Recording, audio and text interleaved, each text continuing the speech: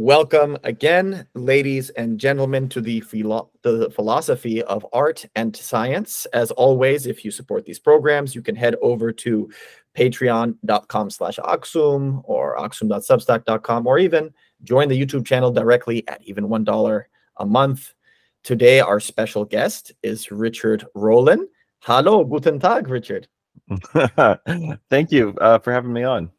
My pleasure. There are a million topics uh, we can talk about, and hopefully we'll hit something uh, close to a million. But I want to start good. off on a note that I think have has not been covered by other podcasts. You'll correct me if I'm wrong there. Okay. And I'd love for you to talk about uh, whatever your earliest martial arts experiences were, and then to bring it to jujitsu. Yeah. So earliest martial arts experiences, um, I did some taekwondo when I was a little kid. Uh, that's probably the earliest thing. Um, you know, put on the white gi and you know horse stance, star blocks, all that stuff. And yep. And uh, then after that, I got really into uh, HEMA, so historical European martial arts, uh, specifically Fiore longsword, and then also um, Filipino martial arts. So uh, uh, you know, Kali or Arnis or whatever, or you know, Escrima, whatever you want to call it. It's got a bunch of different names, and they're all more or less, more or less the same thing. Don't at me, you bunch of Filipino dweebs out there. Uh, not actual Filipinos, just people who are really into it. Um, I actually really love and admire uh, Filipino martial arts, even even now. And uh, uh, I did a, I was with a group that did a lot of full contacts, uh, stick fighting, nice. um, uh, which I really loved. And and basically, uh my favorite martial art is anything that you can do full contact right? Really yes. it's this is this is basically there are two kinds of martial arts. It's not really traditional versus modern because there's nothing more ancient than wrestling right? Mm-hmm. um but uh it's it's things that are theoretical and then things that are you can actually apply. And that, that that's that's really the difference. Uh along the lines of theoretical things you know i did some krav maga actually twice uh two different times in my life. Um uh, and then also a lot of, I mean, technically this is a martial art. Uh, did a lot of uh, firearms training in my life. Um, I actually taught uh, for quite some time, but uh, did wow. some did some some defensive pistol championships. So like a lot of running around and shooting, and um, yeah. So uh, that kind of brings me up to um, once I had kids, it became harder and harder to do these sorts of things. Okay. And uh, so, but these were continuous throughout your life. You didn't have any like long breaks. So the longest break was probably right at right around the time my second daughter was born, uh, uh, until uh, about two years ago. So probably about a seven or eight year gap, actually, uh, where I wasn't doing anything other than shooting. Mm-hmm. Um, um, still loved the martial arts, still watched UFC, things like that, but uh, wasn't really practicing myself. Um, and then, oh, I, I, did some boxing in there as well. Um, way back in the day, way back West, in the day. Western boxing or Thai yeah, boxing? Yeah, Western boxing. Um, Thai boxing is one that's always kind of uh, eluded me, uh, not for lack of a desire, and I hope to get around to it one of these days. But anyway, so um, and then back in back about two years ago, I wanted to get the kids started in the martial arts, and so we started them at, at a place. Uh, uh, started two of our kids at a place just down the road from us uh, that has a pretty good kids program, and it's it's pretty well rounded. Like it's it's like some self defense kind of stuff, and some kata, and some jujitsu, and some uh you know some weapons, and anyway, it's just like a really broad thing. They call it karate, but it's really they don't actually do any karate katas, and so uh, and most of the you know it's it's basically it's like really jujitsu plus kickboxing plus like a couple other things. Anyway, it's been pretty good for them. Um, they have a good kids program there, and they had an adult program there. And I was like, hey, you know, I this is something I really enjoyed, and so um, started it up again and did stuff there for uh, did stuff there for probably uh, all in all about a year, and then after I'd been there for about two months, we did some. Uh, there was like a uh, one one night where we were working on like ground fighting. It was mount escapes, and I mm-hmm. could not escape mount, and I was deeply frustrated by that fact. And I didn't feel like, you know, like you know, they, they spent like maybe 10 minutes on it and then they moved on to the next thing. I was like, no, no, no this seems like a big deal. like if somebody's on top of me, I would like to get them off. And I'd yeah. done I'd done um, you know, some some kickboxing, uh like amateur kickboxing uh uh like uh, uh tournaments and things like that. Wow. So, so like, like pretty, actual bouts. Yeah, yeah, yeah, yeah, yeah, yeah. Like I'm, you know, pretty comfortable fighting. I mean, I'm uh just for the internet because people are always surprised when they meet me in person. Um, so I'm six foot four, um, and usually weigh, weigh right around 215, 220. Nice. my walking around weight, and I've cut weight down before to, to down to like 208. Yeah. Uh, which is which is like the uh it's the heavyweight division in IBJJF, but it's light heavyweight mm-hmm. pretty much everywhere else. But anyway, yeah, um, we're the same. I, we're anyway, the same weight. I'm a little shorter than you. I'm six yeah, one, but same okay, weight yeah. right now. Yeah. So anyway, I'm a pretty big guy, and I have long arms, and like mm-hmm. punching things has never been hard for me. um, but uh but you know it's like man if somebody's on top of me and i can't get them off i mean that seems like a problem. We should spend more time on this. And so i'd already kind of been think, wanting to look at jiu-jitsu anyway um because i really you know always admired it i guess. Um and so i i just uh i did a little research and i found a place near me that had a 6 a.m class. Yeah. Um and i was like cool well i can do this in the mornings and i can do this other thing in the evenings so I started doing that, and then after about a year of doing both, I just dropped the one place because uh, I kind of felt like I got to the end of uh, what they could teach, and mm-hmm. um, and they, they, they didn't really have the anyway. So so anyway, I just so so now I just do jujitsu right now, um, um, primarily at 6 a.m. Um, and uh, done a few competitions, but uh, unfortunately, most competitions in my area are on Sundays, which is kind of a non-starter. So um, yes. So if if a Saturday competition comes up, I'll do it. Um, other but otherwise, otherwise it's just more of a more of a hobby right now. So and over time, that's fantastic. And uh, it's so funny, like um, you see these kind of non-specialist organizations it was and one of my older roommates he had this thing where if he saw like a restaurant that had too many things on their menu he would not want to eat there oh nice. and so yeah yeah so yeah. it's kind of it's kind of an interesting like you yeah. think of the simplicity of an in and out or a google in terms of like their yeah. their user interface um it it, it does i mean you don't want to judge a book by its cover but sometimes those uh those judgments uh, turn out to be accurate but it's good that you stuck it through and kind of uh, tested it that way. And even it's funny to have the label karate, but to do other things. Yeah. I think that's kind of a, a, market response a lot of places had over time. I look at where I used to do taekwondo as a kid, uh, and I did it up to like brown stripe for five and a half years in the San Fernando Valley. I go back and over time they added Brazilian Jiu Jitsu, and then over time they added MMA as well. Yeah. And it, it's obviously like a thing they're doing to respond to right. the market. And then you see, um, uh, I don't know if you're you used the word dweeb earlier. Um, there's an anime called Jujutsu Kaisen, which has nothing to do with jujitsu. It's this right. like you know fantasy based anime yep. about spirits. There's this Nicolas Cage movie about called Jujitsu. Right. Has nothing to do with jujitsu. No, I did know about the Nicolas Cage movie. Yeah. Um. This so this place they called their they call their kids program karate, uh-huh. and their adult program Krav Maga. Um. Although although it's got no real relation to like Israeli you know yeah. combatives or whatever. And, system, yeah. and I, I don't tend to like combative systems anyway because they tend to be like i think they're good at taking somebody from off the street and saying well we've got six weeks to teach you to be yes. aggressive. And that's that's really all they're good for. Once you get past that first six weeks of now i know how to be aggressive it's just you know very repetitious uh, not not in a cool way. Um but I mean, I, I, don't have anything bad to say about the people there. I mean, uh, mm-hmm. one of one of their main uh, instructors was also like a, a Rickson Gracie purple belt. Nice. So he's a pretty, you know, like pretty good grappler. Yeah. Um, uh, you know, in addition to being like a second degree black belt and and the other thing. So anyway, it was a fine place, but you know, for me, it was kind of two things. One is when I started like, you know, uh, we we do like a, a a a drill where you're like supposed to scramble for like the the training knife, right? Mm-hmm. And so then you know, so I scrambled for the the training knife, and I'd wind up on the instructor's back, you know, strangling them.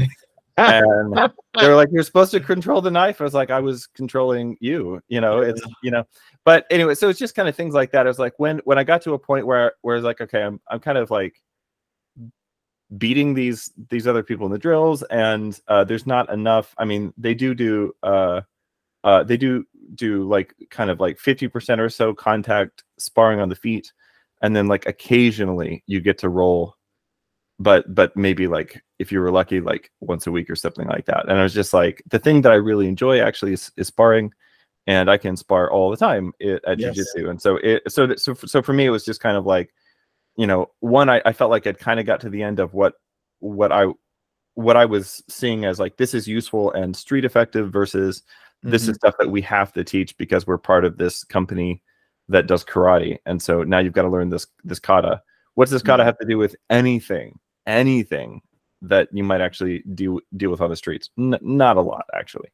So so it was like kind of at the end of what they were teaching but also uh i was just having more fun at the other place. So that's you know And that's that's you're right, and everyone's got limited time. So I'm I'm glad you tried it, but then you found what was better. Yeah. I I feel the same way. In fact, you were speaking to my Semitic heart when you were Hmm. talking about this difference between theory and practice. And it's, it's Yeah, like yeah, some yeah. people still have their preconceived notions of and, and dogmas within martial arts, which you know Bruce Lee got us started on getting away from. And I think Joe Rogan has also But people- popularized just use what works. people came in right after bruce lee and immediately like dogmatized Mhm. a bunch of things like in a way uh, that you know obviously i am a fan of dogma in certain Yes. circumstances but like basically like fossilized would be a better word right they they Mhm. like immediately like one generation after lee all his proteges and their students almost immediately just like fossilized his stuff and Yeah. as though well he's done it nobody's ever going to make any improvements on this and so like this is the thing now uh which is, which again is wild because lee you know first of all didn't know how to wrestle which is the which is the oldest martial art yes. right way more ancient than you know I, i'm sure you've seen some of these videos where people are like breaking down even like old kung fu forms and being like these are actually wrestling moves Yeah. yeah old, old kung fu, old karate, old taekwondo, they all had them and they kind of slowly got rid of them. Yep. Even judo has been kind of weeding out a lot of its moves throughout the 20th century for yeah various uh, poor incentives, in, Yep. in, in my opinion. Um, yeah, it, obviously we like church dogma, but yeah, fossilized it. Or Yeah. another way that I would say it, and actually we'll we'll talk about this more when we come back to Ethiopia, maybe. But one of the kind of big critiques I have about like my Ethiopian society is we valorize the kind of individualist pioneer but then like after the pioneer has done something there's like a lot of lack of critical thinking. So it's almost like you kind of need a pioneer every generation or every other um, generation or so. And one of those big kind of arguments debates that i i think is winning on one particular side but i wouldn't fully go in either direction. I'd love to hear your thoughts on is this debate about the gi or the kimono versus no Mm. gi what what are, what are your thoughts on training and competing in in those? So at my gym right now um i'm basically doing no gi two thirds of the time and gi a third of the time and then Mhm. when the weather turns cold we'll switch that nice Um, so my my coach and my coach is uh, I mean he's a serious dude. He just won uh, Dallas ADCC. Um, Nice. Very very serious competitor, um, freak athlete as well. Um, uh, he's awful to roll with in no gi. He's even worse in gi. Um, but you know the way he put it is, you know, if you're going to do jujitsu, you just you really do have to know both. Um, I think that the gi is contrary to what a lot of people will say when they're just like saying things without thinking about them critically. I think the gi is probably a little more practical for self-defense purposes interesting because everybody wears clothes. Um, now, you know, actually, where I live, where it's really hot all the time, yeah um, it, you know, uh, the the the chances you might have to fight somebody in shorts in a t-shirt and a, and a t-shirt are, are elevated. And so in that sense maybe nogi is like a little more practical. But I, I think for most people in most places uh-huh. um, I think that the gi is a little more, uh, uh, let's say, practical for self-defense purposes, and I think a good proof of this is is judo, actually, uh, which I'm a huge fan of. Um, and I do I mess around with a little bit of judo. I have a, a friend who's a pretty high level judoka, and uh, there's a there's a pretty cool Kosen judo place oh, not, too, not, not too far from where I live, and they have like a Friday night fight night, and Yeah. you can just go. It's just like a big open mat, and you can do judo rounds. You can do uh, you can do just as long as the other person agrees. Like you can do jujitsu rounds, Mhm. things like that. Um, um, uh, actually doing jujitsu rounds with judo people is really fun because usually they'll throw me, but then I'll end up submitting them. you know, it's like, you know, but uh, yeah. uh, but then you know if they throw me on concrete, you know, m- maybe maybe a different picture. So anyway, I have a lot of respect for judo, and uh, you can you can find plenty of plenty of videos uh, where people, you know, uh, where somebody like you know a self defense situation, somebody judo throws somebody into the pavement. Mm-hmm. Um, so anyway, I, I think the gi is is pretty practical for self-defense purposes. I think that if you're just looking at self-defense and you find kind of an older school place that's like gi intensive and they're just, you know, like fine.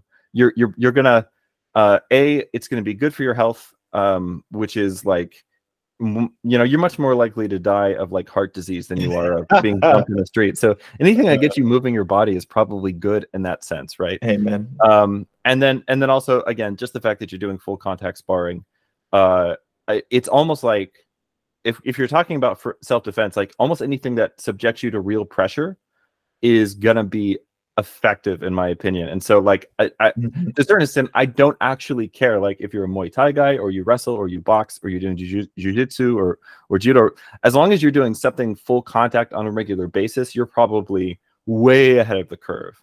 Now, I like jiu-jitsu for a lot of reasons. Um, I think it's it like it's just a beautiful art form to me.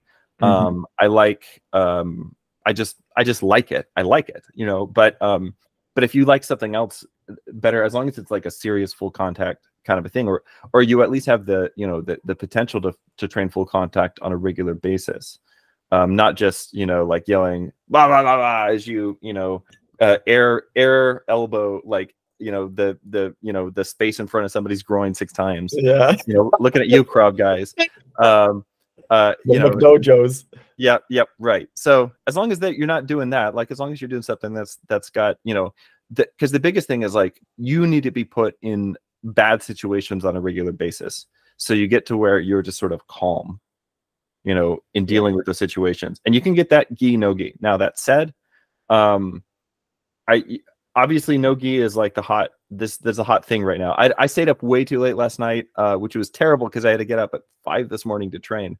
But i stayed up way too late last night watching the uh, the ufc uh, fight pass invitation oh, i haven't seen it yet but i've seen the highlights and comments. yeah so it was very good. Um, lots of very high level technical grappling. Um, you know i think the ebi rule set is fun. I don't I don't think anything... I was going to ask you about that because a lot of high level people yeah. complain about it. Just for people who don't know, there's a certain time limit where it's supposed to be submission only without points. Right. And then in order to abolish judges, which I think right. is a great value, yeah. you start off from a dangerous position in overtime. Right. Right. So so this is the thing because then you get guys like the B team guys who I love because they're hilarious and and very fun to watch and they put just like free rolling footage like every single day on their YouTube channel. Yes. Um I I very often I'll sit here working and I'll just have B team you know rolling footage going in the background I'm like I'm going to try that. Um not not that you know like my level of technical you know so uh, I've been doing jiu-jitsu for about 20 21 months now. Nice. Um so like enough time to like know things, but also not so much time that I'm actually good at it. You know, like, you know, gets another white belt. You yeah. know, um, I've got, you know, for people who like stripes, I've got four of them. Uh, you know, probably you're on the cusp. Get, yeah, I'm probably gonna get a blue belt at some point. Um, but uh, but yeah, the the the, you know, so so anyway, but but I love watching it. Um, I think it's a, but yeah, so the EBI rules were basically It was basically a rule set intended among other things, but like primarily to make it uh, competitive jujitsu more fun to watch. Yes. Um, so it does that, I think, pretty effectively. Now, the flip side is that if you've got very high level guys uh, who really train for the rule set, what they will basically do is train to stall slash survive yeah. the regulation round, and then basically just focus on getting really, really good at back escapes, back control, armbar escapes, and arm bars, right? And then and so then they plan to win in overtime. So that's how Nicky Rod won all three of his matches. Was yes. uh, now he did, to his credit, he he didn't ride he didn't win on ride time. He he got submissions all three. Um, mm-hmm. uh, but but basically like and and actually he started out in um like he lost a coin toss uh, coin toss for all three. So in all three, like he explosively escaped back control in like five seconds, and then you know, submitted the guy when it was his turn, right? So like that is obviously that's an amazing skill, right? Yeah. Um, so, but it does mean that the uh, that the it does mean that the regulation rounds can be potentially like a little boring to watch. I don't know what to do about that. Like, there's no Mhm. rule set because if you do like uh, no time limit submission only, uh, which it, which would be like the purest version, right, of jujitsu, but then you have the potential of watching a 30, 40, 45 minute, hour long match Yeah. where nothing happens most of the time until somebody gets gassed yeah. right? And so um, I, I I don't know if you watch a lot of one uh, championship stuff. I, I not a lot, but I do I do watch some. I, I would support like in general, and we can talk about it. Combat jujitsu as a rule set, and I support Ed, Eddie Bravo's because for me the ideal of jujitsu is Yeah. vale tudo. It's for the real fight, Yeah. and the issue is that you have this counterbalance between trying to make the fight as realistic as possible, but also trying to protect the fighters so that they could continue to do this. Like Right. you talked about this practice or this training, which Yeah. separates from the theoretical martial arts, which is important but you know the founder of judo uh, kano jigoro was very adamant about also trying to make it as safe as possible Yep. and you don't want to get too much into safetyism which is what i think the kind of judo overlord tribunals have been doing in the 20th and 21st Yep. centuries in getting rid of leg takedowns and getting rid of like yeah, kani yeah. basami and uh, other other Yeah. takedown maneuvers but i think it's it's that i think combat jujitsu which is basically you're not allowed to strike on your feet but you can slap them from the ground is important Yep. just just last week i was submitted by an achilles lock for example and i'll tell Right, you before i was submitted by the lock if it was a real fight i had my full free leg that i would have kicked the person Kick in somebody the face, Yeah, yeah. it would have been over right there yeah, yeah, yeah. Additionally, even let's say I don't have soccer kicks available to me, I had two hands while they had two hands on my foot. I could have held their one hand and either punched, hammer fisted, or slapped them in the face, and the Achilles lock would have been gone. I could still be got in an Achilles lock, but it it, it, it it's lacking a certain um, realism, and that and the butt scooting is some. There are two things that I'm very against, which is why I like the idea that if you're on your butt scooting towards someone or scuffling and shuffling, you should be slapped in the face. And Yeah. uh, some of the early Gracies actually did that. You mentioned Rickson Gracie. My first year and a half of jujitsu, I was at his former gym, which his son Kron took over, and um, we we didn't have slaps, but I you hear stories that that people used Yeah. to do that like in their backyards and Yeah. stuff. I think I, I really like combat jujitsu. Like it's fun to watch. I think it's cool rule set. Um, no, I agree. I think I think that if you could normalize that as the as the um, you know, in some sense, it's like less. Uh, no, that's not the right way to say that. Um, yeah, no, I, I I I think if we could normalize normalize that, which would basically mean all the top jujitsu athletes would need to start you know doing it and taking it seriously but um but i i, I think it's cool. I mean that with, with something like an achilles lock you know how how useful effective of a submission is that in the real world? It's very easy to just go look at the stats in mma how often are people submitted by an achilles lock? Almost never. Um, i'm sure it's happened once or twice um, but you know what are the highest percentage submissions right? Rear naked choke right? Yes, rear naked choke armbar, armbar right? Kimura. Yeah these things uh, those things you know especially like the rear naked choke always works you know no matter how tough or strong somebody is right you know um but um and that's my that's my favorite anything like even you know this morning like um is always i'm always looking to get to the back You know, Same. get to the back you can't hit me you can't you know yeah so um uh yeah um one one one championship has been doing um actually i think so low key if you're into martial arts one is actually the best promotion to watch. Um, for a few different reasons. One is they put a ton of stuff out just for free like every friday. Yes. they put stuff on youtube. Um, their their pay-per-view events are free to watch if you have amazon prime which like everyone does. Um, uh, but what's cool about one is a couple of different things. One is that they do mixed rule cards so every card will have like a couple of mma things but then also you get like uh like dutch kickboxing and you get muay thai and four ounce gloves which is the most fun combat sport there is like in terms of what of, of like watchability is Muay Thai in four ounce gloves. For people who don't know, normally in Muay Thai you have eight ounce gloves, and so they're like the big mittens. I've got a Mhm. pair around here somewhere in my office. Um, uh, they're like the big mittens, and uh, it makes it really easy to shell up and just kind of kind of hide behind the gloves, like in Western boxing. But uh, in Muay Thai with four ounce gloves, basically you use four ounce MMA gloves, and uh, you can't really hide behind your hands. And man, oh man, is this stuff fun to watch? Um, yes. And they basically have like all the best Muay Thai fighters in the world under their banner right now. Um, so massive, massive fan of that. And then, but then they also have MMA um, and some very good MMA fighters. I mean, Demetrious Johnson is, you know, maybe one of the greatest of all time. Um, well, certainly one of the greatest of all time, maybe the greatest of all time. But anyway, he's great. Um, you know, they have Reinier de Ridder and and you know other guys like that. So like they've got some good MMA talent. But then they also have a, a submission grappling championship. Yes. And so their rule set is pretty good. It does have judges, but basically it's based on uh, uh, if so you have a time limit. I think it's 10 minutes, no rounds, just a 10 minute. And during that 10 minutes, you are uh, it's submission only. And if nobody gets a submission, then it's the person who had the largest number of catches um and but basically the more catches you get or the you know if you get an actual submission you get paid more. So fighters are incentivized to go in and it's still like no gi submission grappling but they're incentivized to go in and do um and get uh um to get you know as, as as many submission holds as possible right? And so the ref is standing by and basically when the ref thinks okay that's a legit submission attempt right? Even if like you go for the armbar, you get it, but the guy manages to escape, which Nicky Rod had an insane armbar escape last night. I saw that. I saw that. Scary stuff.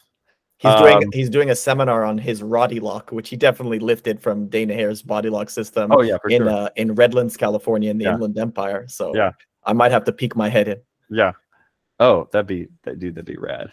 Um, but yeah. So anyway, he um, uh, uh, so so the ref is watching, and the ref will call catches when he sees them. So Yes. So like and and and then basically the person who wins is the person who got the most like you know potentially valid submission holds if if nobody actually gets submitted um and they've had great matches like there's not a single one of those matches that is boring to watch um which it which i think is like that's the big thing uh that's been ruining sport judo is they're trying to make it more interesting to watch primarily right because they're trying to turn it more into a spectator sport.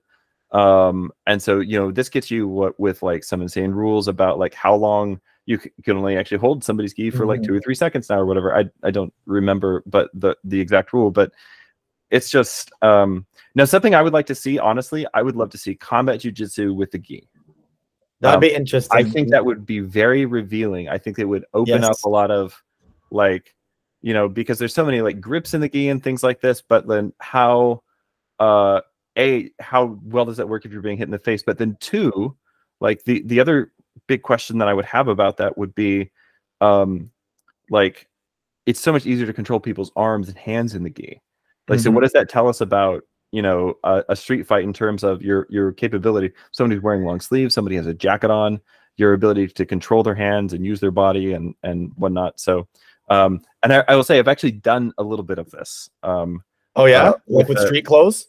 Uh with, with a friend of mine who's a purple belt uh we've done like some combat jiu-jitsu round, uh, rounds in the Oh, game Okay. yes, um, I was gonna yeah. ask if you have that at your gym or anything. yeah no no we not officially no Okay. No, Okay. no, not not officially i mean it's it's pretty high level sport jiu-jitsu but it's it's sport jiu-jitsu yeah Mhm. um you know that said like Yeah. I, I wouldn't want to get in a fight with any any of those guys.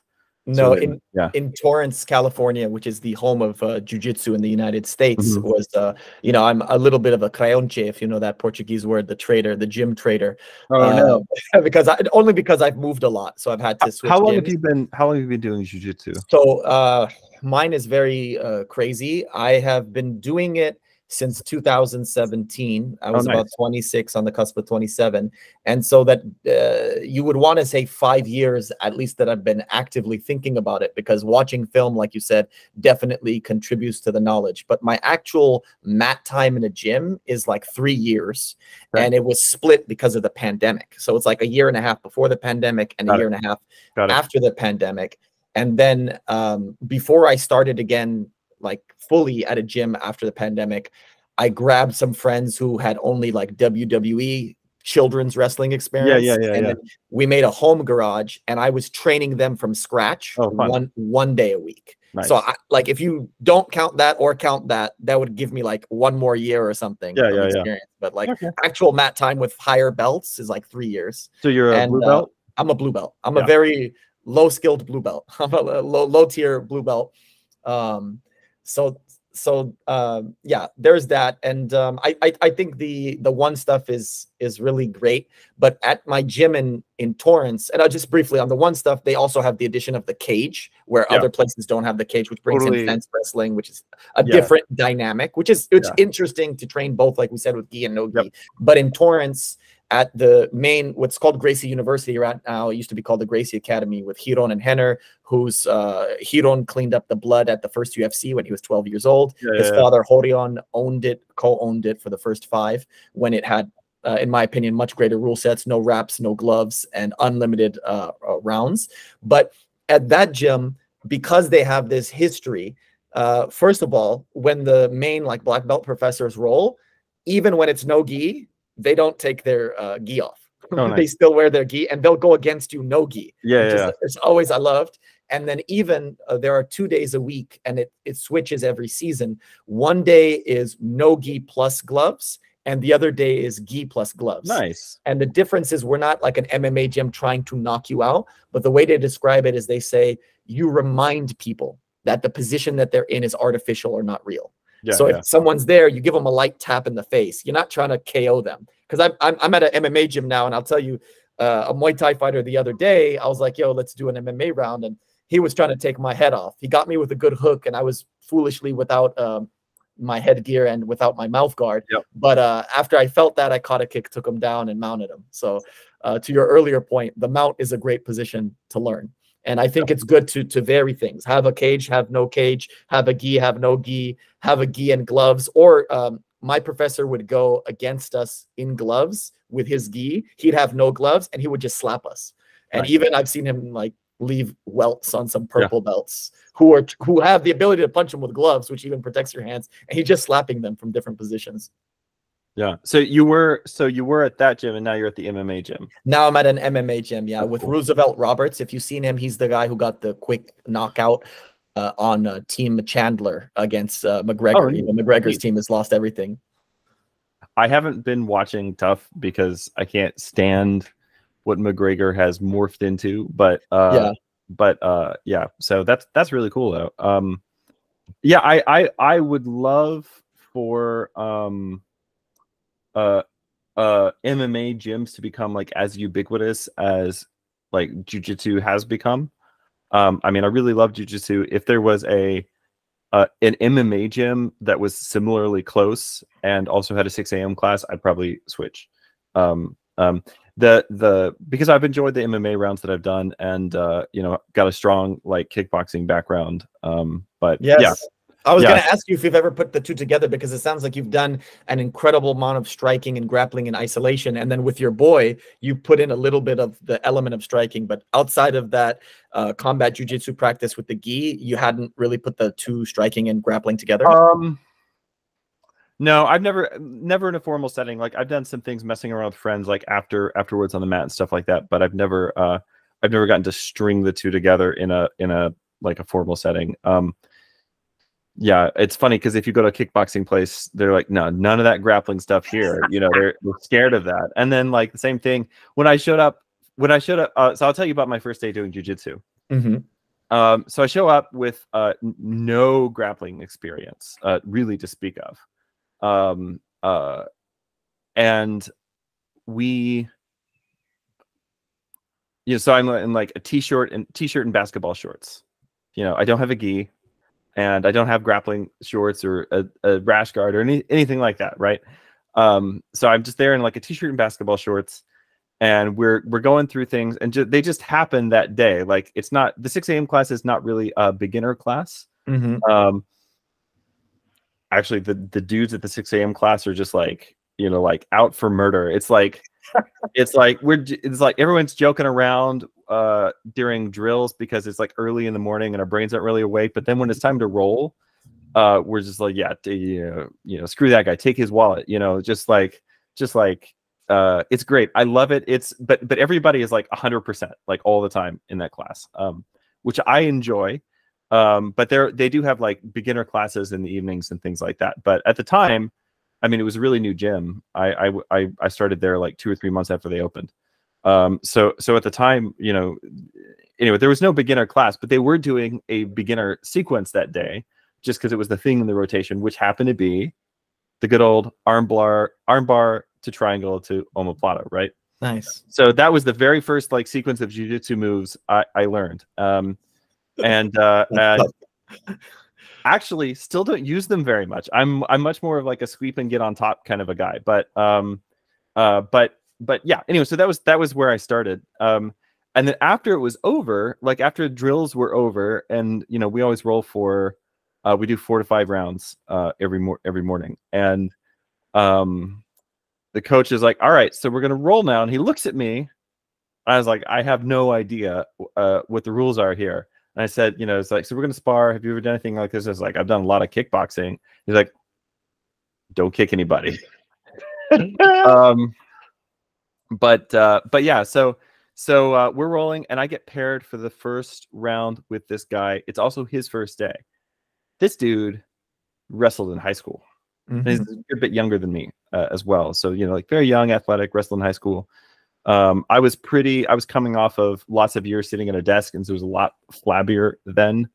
Uh, and and uh, so I was just like, okay, well, so obviously, you know, we we slap bump, and he immediately double legs me, like, you know, goes right for it, and without any idea of what I'm doing, he doesn't know what he's doing, I don't know what I'm doing. Um, I just wrap my arm around his neck and I wrap my legs around his body and I just squeeze. Yeah. And he tapped out. Wow. It's just so it was a guillotine, but I mean, like I knew what a guillotine was from watching one, but like it was just instinct. Here's a head. But he didn't know because he'd come from wrestling. Like he just didn't know. Don't put your head there. Mm-hmm. Jiu-jitsu because somebody will, will strangle you. But anyway, that was my that was my very first round. Um, and, and you know, you've been doing this long enough to be aware of like the incredible attrition rate in jujitsu. Yes. Um, other martial arts are this way a little bit, obviously, just because it's like for most people it's an extracurricular activity. It costs time and money. Um, but but like there's like jujitsu has a way of like sort of grinding down like anybody who is there for the wrong reason, they just won't stick around. It's too it's too yeah. hard. Um, so unfortunately, that guy, uh, like a lot of the guys that were you know that that that have started since I started aren't there anymore. You know, but um yeah, anyway, it's uh but it's been good and you know, I do have some some like pretty longer term training partners. Um and uh and that's I'm really grateful for that. You know, it, it's at the end of the day, obviously it's sort of a meme like on Reddit, jujitsu changed my life, et cetera, et cetera. Yeah. You know? But um I I think it's very fun and it's a good way to make friends and it's a good way to exercise. Um so yeah. Yeah, Craig Jones, uh, in my opinion, king of the B team, at least in humor, was recently making a video poking fun of that Reddit tier idea and was actually saying jujitsu probably ruined more lives than it saved. like he's so funny. But yeah, to the attrition rate thing, it's actually the perfect segue to the question that I was going to ask you. And it's so funny yeah. because I wanted to see how long can we scare our audience away by just talking about I'll, jujitsu? I'll talk about and, jujitsu forever. and I was like, how long can we keep this going? They, have seen our work and they're not expecting it, and that's what I like to do. I I yeah. had brought a, a, Canadian journalist on not too long ago and and spoke like similarly long with him about uh, karate do because he was a a, a karate oh, uh, player. Um, but I like what I want to ask you is this thing I see um, with the because you and I are public thinkers, and what I see with the kind of intellectual class in the United States is that uh, I think they're really well or really good at like not being totally obese, although some of them are. And the way that they typically like combat that when you're talking about jujitsu as a, a health longevity tool is by running and especially like running long distance or in mm. general like cardio However, when it comes to something like, especially the striking, but even jujitsu, for those who don't know and understand it, it comes and uh, off and seems very brutal and primitive to them. Yeah. However, what I think is going on with the attrition rate is that a lot of egos are being flattened because you have to be willing to lose and lose again and again and again Yep. in order to get better. And what's different about jujitsu versus like Western boxing or sprinting, and I picked this up from one of my favorite coaches Firas Zahabi over there in Montreal, is uh, near our good friend Jonathan, is Mm. that uh jujitsu has not infinite but like millions of possibilities and so Yeah. there's a way in which it's it's very similar many people have made the analogy that it's chess with your body and Except so it's a very So much more intellectual complex than chess, though. Agreed. Because because rather than being turn based Right. right and this is uh, maybe we'll talk about it when we talk about It's momentum games. based. yes and it's live. It's Yeah. ac- it's action. It'd be chess if you can actively move.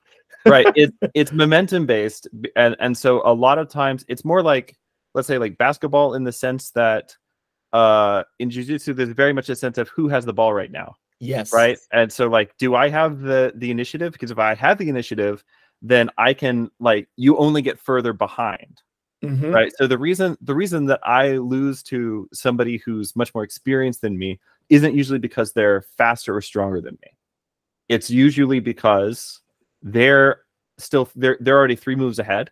Yes. And i'm just reacting. And every time i react react react if i don't come up with a way of blate of breaking there in in uh in like uh handgun defense there's something that we call the ooda loop. I don't know if you're familiar with this idea the No. ooda loop. Basically it's just the the here's how it's it basically it's just your decision making loop. And yes. in a uh, in a self-defense situation, the most important thing to do is to break the other guy's decision-making loop. Um, so if you can turn the tables in some way, like create an unexpected variable in the situation, that's enough to like cause that other person to freeze out, and then you can either execute uh, or or you can just get out of there or whatever. But like this is the same thing in jujitsu. Like if I'm rolling with a brown belt and he's just you know like constantly attack, attack, attack, attack. It's happened this morning, right? He's constantly attack, attack, attack, attack. Well, you know, I'm defending this, I'm defending this, I'm defending this, I'm defending this, but eventually one of those gets through because I'm on the defensive, and every time I react instead of take action, I get like a little bit further behind. So chess That's- is more chess is more like chess is turn based, but like in jujitsu, you can just make it always your turn you know? And so in that sense you know and then but obviously there are you know escapes sweeps things like this that are basically i'm taking the ball back right? Now i'm going to go on the offensive. Um Ab- absolutely yeah, and y- yeah. you're saying the textbook thing that Rickson gracie actually is famously quoted as saying like he goes in his own jujitsu from a to b and b to c never backwards you know Yeah. he's he's got a forward progression uh set of uh movements there to um I'll make a brief video game analogy, and we'll co- we'll come back to the Sure. the main question I have for you regarding brutality. Growing up, I played both turn-based video games and live video games, both of which were RPGs. Did you have a preference between the two? um Like Final Fantasy for me Yeah. is uh, it's Final Fantasy VII is like the typical kind of turn-based, but there were other ones Yeah, that were made by Square Enix. for a lot of But people then like live ones are like Diablo and for Yeah. me the Forgotten Realms series like the the Yeah. not the original Baldur's Gate but like the Dark Alliance and later Champions of Norath.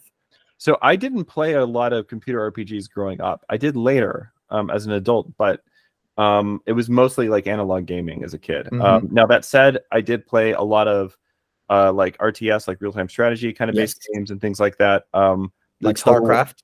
like uh, so much StarCraft, so much StarCraft. Starting with a pirated CD that I got from a, a, a my my cousin, you know, like burned me a copy of his CD.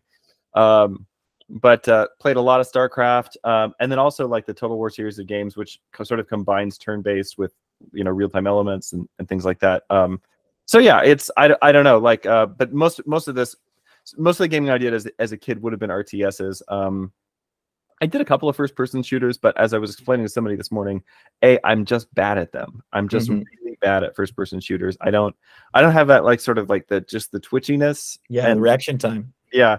Well, the thing is, I have good reaction time in like other areas of my you know my life. It's never been a problem in, in other things, but like uh just like something about I think just like being there at the screen and having like watch everything so intently. I just just just can't do it. But um uh, but yeah, I so but like as far as computer RPGs, um, I really enjoyed the Elder Scroll games later on, uh, but I didn't get into those until I was an adult. So that's fair. Yeah, and and going back to what you were saying, like what you were talking about, how you can take the ball back. Your analogy, I loved it. To use a, another anime as an analogy, Hunter x Hunter, there was a villain called King, and he's famous for being this very powerful guy, but he would also love playing people in Go, which is a very mm. non non-violent thing. And he would talk about disrupting the rhythm of the other person. And I think it originates from yeah. this judo idea called kazushi or unbalancing the opponent, which jujitsu has a lot of as well. Right. You don't go kind of too much in in either extreme. But the main question I wanted to ask you here is like, okay, Richard, you're very well respected for your intellect and you're doing this very brutal thing. How do you explain to your smart audience who has some timidity regarding uh, things like martial arts? What what is your intellectualization or rationalization for why such a smart guy like you would do such a dangerous activity? Um, man, uh, I mean, it's it's sort of like so on the one hand, I understand the argument against stuff like this. Like, all like most people are not really put off by jujitsu, um, mm-hmm. either because they don't really understand what it is, or they're just like, oh, that's a bunch of guys in gis and belts. That's kind of like karate. Karate's a thing that I know, you know, and you know, a, a lot of for a lot of people, like uh, martial arts is synonymous with like positive things like self discipline and you know self mastery and all this all these things but then like take that person and sit them down and show them like a ufc fight you know uh take that person sit them down and show them. I'm trying to think of like in a special oh that uh that chandler uh that chandler Gaethje fight from a couple yeah. years ago right? Take them down sit them down and be like no this is actually martial arts. And well this is like this is two like cavemen clubbing each other to death with their hands. Yeah. You know and so like well isn't this kind of like uh uh you know it's brutal it's you know gladiatorial sports yes. it's you know think that's that's the that's the argument that i sometimes get from people and like on yeah. a certain sense i get it like on a certain sense i get the i get the uh shouldn't we have like evolved or like moved on from this by now and things like this and obviously like if somebody is for instance a monk yes. right and is doesn't want to watch these sorts of things like i i get that and i respect it and i would never try to like force it on somebody that wasn't into it. On the flip side, um, to me, this is, and I'll go back to wrestling. Um, wrestling and just like grappling in general, right, is is actually one of the major bases of human culture, right? Every human culture, as far as I know, has a, if you go back far enough, has a traditional wrestling thing and they'll all have like different rules and they'll have different maybe you have different things that you wear and you've got a belt mm-hmm. the other guy can grab or you've got a jacket the other guy can grab or something like but pretty much every human culture has the basic idea that men and it's really just men nothing against ladies doing martial arts you know my i got my girls in the martial arts but but like if you don't have a forum in which men can come together on the village green contest with each other in a semi-violent fashion, but nobody dies, which is what is great about grappling. Right? If you don't have that in your culture, then you'll what you'll get will be roving gangs, right? Um, men have aggression, and we have you know like you know bodies that are built to fight things to protect things if you don't have i'm not not even like so much an outlet, but like if you don't have a focus, right? If you don't have a focus, if you don't have a purpose for that kind of activity, then uh, you really start to sort of uh, develop some really disturbing pathologies as a as a society. Now, where does this where does where does this cross the line into this? Now, when you take this and you make it a spectator sport, right? So that's where you're that's where you have to be a little careful about where does this cross the line into like decadence right just mm-hmm. just you know rich people sitting around watching people fight for fun right so where where does that become kind of problematic because on the on the one hand something like mixed martial arts is the highest that's the highest level that we have available to see what this stuff looks like, to see how it works. Like we have so much more data. I mean, this is why it's completely ludicrous to to take something like, you know, Bruce Lee's, you know, some things that he wrote down one time and like fossilize that as, oh, this is the pinnacle of all martial arts. You know, because we have so much more data now. Like, what do you think Bruce Lee would be doing if if if like he was born after UFC one? You know?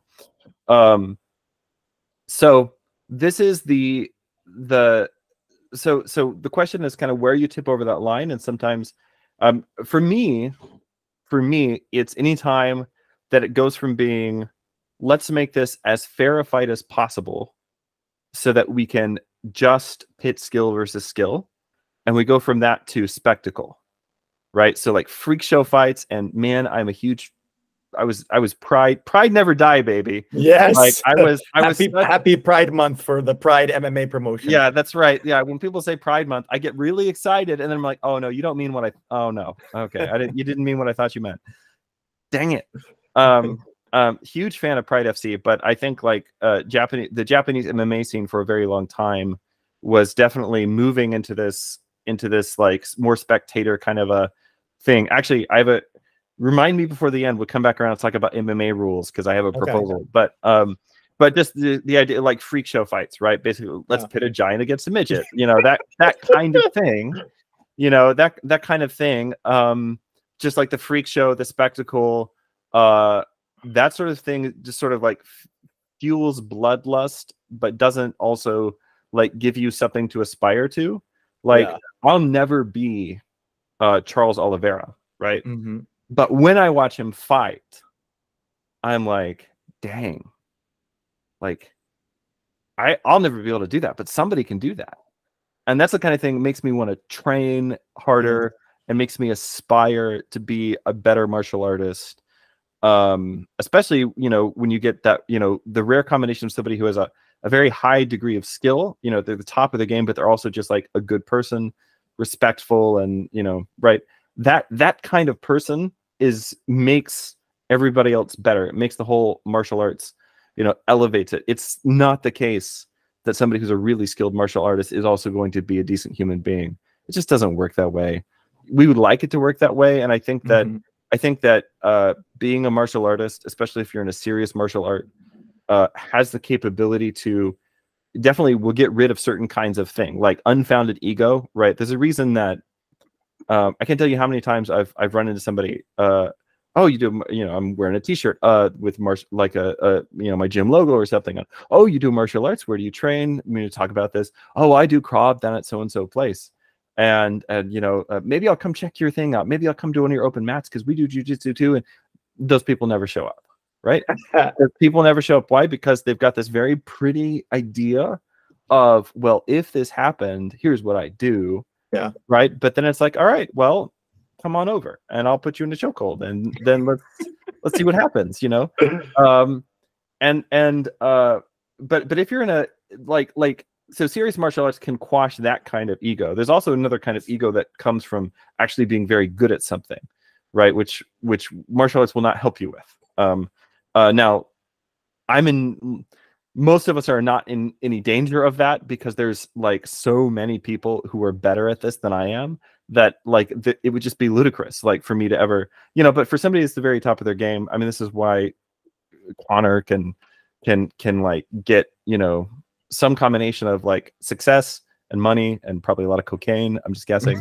Um you know has has kind of made him into like a cartoon version of, of himself right? And and um but and that kind of spectacle and i think it's really where like just stupid amounts of money gets involved right? That's and i really do you know would like to see more equitable fighter fighter pay but it's when you when you get like these these spectacle fights stupid amounts of money involved corruption involved all those different things uh, but that's not the fault of martial arts it's just another case where human greed and uh, you know the decadence of the society that we live in has kind of taken something that's good uh, and then made it into a bad thing. So you know, as far as like, but it, but as far as like violence itself, like as far as as um um as far as like aggression and like physical conflict, all sports, all sports are abstract war. right? And you can decide what level of abstractness you're comfortable with. Correct. But all sports are abstracted war. And the whole purpose of sports, if you read Plato, for instance, like who's a big fan of sports, um, Plato is probably just his wrestling nickname. Um, it means it means like plate. It means like wide, right? And, Yeah. and he when he was um, when he when he was a a a, a, a young man, like he participated in you know basically the ancient Greek version of MMA, you know, Mhm. and which is like wrestling. Yeah pankration so like wrestling plus boxing right? You know and b- boxing where you put things on your hands to make it hurt the other guy more as opposed to what we do now right? Uh, but you know that's what he did when he was younger. And if you read for instance his laws or something like that he talks about the importance of of of martial arts which for him is boxing wrestling horseback riding archery Amazing. the the which is like there's an education right there right? The importance of these things for uh the the education of what we would think of as the intellectual right? Because he's not talking about the education of slaves. He's talking about the education of you know it's called the liberal arts because it's the the arts that a free person gets to gets to learn. And um you know as opposed to as opposed to the education of a slave right? That's literally what liberal art it originally meant. And for plato and for everyone in the ancient world and everyone in the middle ages like if you were a an intellectual right um basically until monasticism becomes a thing right which gives us but that's i'm not a monk. Can't be a Yeah. monk out of the running you know? Um uh if you were going to be an intellectual it meant that you had training uh in whatever martial discipline you know your people you know practiced at the time in how to ride a horse and how to shoot whatever weapon your people were shooting at the time like all that stuff is just part of cl- uh, what we would now call like classical education and this is Mhm. it's actually a huge um uh ir- source of irritation for me because i'm pretty closely involved in certain classical education circles and i would just basically say that you're unless your school has a wrestling program it's not classical Amen. so yeah that's that's kind of my would- answer My God, it's so funny to me the the amount of crossover between our interests is actually Yeah, like, yeah. ridiculous and crazy. Yeah. I I was teaching at a black Catholic school uh, this past school year, but then I've been in and out of substitute teaching as well. But I have friends who are involved and close friends who are involved in a classical education as well. Um, I'm more in the kind of Montessori camp, but there are a lot of things about classical education that I like. And I think inherently, whether it's Montessori or it's classical education, and especially when we bring in the Orthodox Christianity, I would love to see like a judo, jujitsu, Yeah. um, some type of program in involved in that too. I know uh, the the Japanese famously like require judo. I think at least in middle school and high school. I don't know about Yeah. the elementary level. I, I will bring this uh, scriptural quote since we're both fans of scripture from uh, First Timothy four eight, very famous. For bodily exercise profits a little, but godliness is profitable for all things, having promise of the life that now is and of that which is to come. During the falling asleep uh, with the Lord of Kobe Bryant, who was a practicing uh, Roman Catholic, the archpriest Mhm. Father Josiah Trenham, who's very much an LA kid like me, yeah yeah, eula- eulogized him and was talking. I like how you relate even other sports like basketball are all kind of simulated combat, especially football, right? American football. But he was eulogizing him and talking about how the kind of Mamba mindset that is like obviously uh, gladiatorial in some sense helped motivate him as an Orthodox uh, priest and a, you know a, a quite well-known one to to be better in his pursuits of of spiritual matters. I think there's another uh, great segue question for you when we're talking about video games. So, for example, full disclosure, in my RPG days, like my favorite character was always the Necromancer. Um, and then to your other interest, which you know far far better than me, I've seen all of the kind of modern television and film productions, but the only book I've read is that lovely one behind you there, The Hobbit. Uh, everything that you've done with The Lord of the Rings and all Oh, Yeah. of J.R.R. Tolkien's works, there's this question when you said gladiatorial of almost are we in the seat of the pagans, you know, mocking and Ignatius of Antioch and other Christians who are there, or when we're doing this video game stuff with this fantasy stuff? I know you've addressed this question elsewhere, so tying all these together, what do you make of the accusations of like Lord of the Rings and these video games and perhaps even this uh, martial arts? There's a certain paganness to it? What does it have to do with Christianity that you Yeah. are also advocating? Um, I think that the uh, if we were in a situation where um, paganism was the worst thing we had to worry about, I think we'd be in really good shape. Honestly, um, um, uh, Christianity has a great track record uh, with paganism. Um, we're good at converting pagans. Um, actually, it's interesting because this is a little side note to what you asked, but um, at our parish, so I attend St. Seraphim Orthodox Cathedral in Dallas um, Texas. Um, at, at our parish, we've had you know significant numbers of young people actually coming from neo-pagan and Wow. uh, uh, neo-pagan and a heathen-ish uh, backgrounds. The, there, it's actually like a lot of little subcategories, but basically, I mean, this is these are people sacrificing goats in their backyard sometimes, or members of like occult sects or Gnostic sects and things like this. Uh, coming to Chris, you know, showing up at at, at Saint Seraphim never having actually stepped foot in an in a Christian church before in their life. And so this cathedral, and we have a beautiful cathedral. It's covered in iconography, and you know the music and every you know it's it's really it's it's majestic, right? And this is their first exposure, and they're like, oh, so I guess this is what Christianity is. And I'm like, yes, don't go anywhere else. You only be disappointed now. Uh, but but Glory you know God. but showing up and saying, "Hey, um, I've tried everything else and it's not working, and I'd like to be a Christian now," right? So, like, paganism. Actually, if that was the worst thing we had to deal with, um, I'd be I'd be really really happy. Um, the problem is that the thing that we really have to deal with in this country specifically, and you know, to to the other question, like there there are uh, you know countless Christian nations throughout the world and throughout you know the last two thousand years, and all of them still had martial arts. Like you think people don't wrestle in Georgia? You know, like the most the the the, the, the like the you know the longest or the second longest Christian country in the world, right? Either Georgia or Armenia. You think you think kids don't grow up wrestling in Georgia, Georgia? You know. Anyway, uh, but you know, so that that said, um, the problem that we have to deal with in this country, which is, you know, in some senses, uh, if it, if it's ever been Christian, it was like more puritanical than anything, and now we're sort of post-Christian. Is um, the, so there's there's let's say like a series of two mistakes that you can sort of use to to characterize modern Christianity. The first is that we have accepted the kind of Manichaean idea that everything that we do with everything good is spiritual Mhm. and everything bad is physical. Right. And we've implicitly accepted that, whether or not we realize it. And actually, even non believers accept this, right? This whole, you know, um, even like the the the the transgender movement right now is is in essence basically an attempt to escape from the body, right? Yes. Uh, so it's saying I feel this way inside, and it's one way, but my body is this way. So it must be my body that's wrong and my feelings that are right, because this is the second part of that mistake. So first we separated the physical and the spiritual, and we said the physical is bad, the spiritual is good.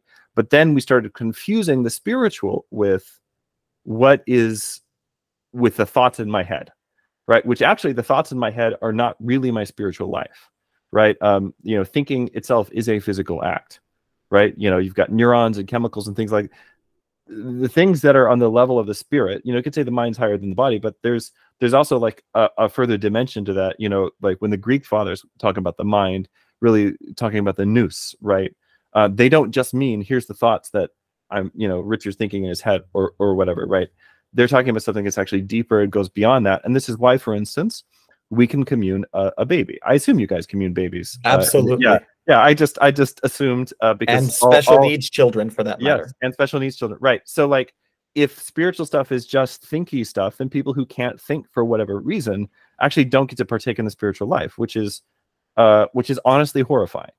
Um and there are there are Christians who believe that. Mhm. Uh um which which I find deeply horrifying. Um so so these these are the kind of two like this this is the set of mistakes that we've made. And so now even the post-christian secular world that we live in in america tacitly acce- ex- accepts these things. So this is why if you understand this this is why it'll help you understand why for instance protestants will say that baptizing somebody for the remission of their sins which the bible says to do by the way um, uh, they'll say that's works based salvation or something like that why is it a work actually baptism is not a work right it's not a good thing that i do to be baptized it's something Christ through his church does for me. Right. So it's his work. It's not my work. But the reason that a Protestant will look at that and see that as a work is because it's something physical that's being done to your body. So this is where I would tie into both the martial arts and the fantasy literature. Um, mm-hmm. This is where this all connects for me. Um,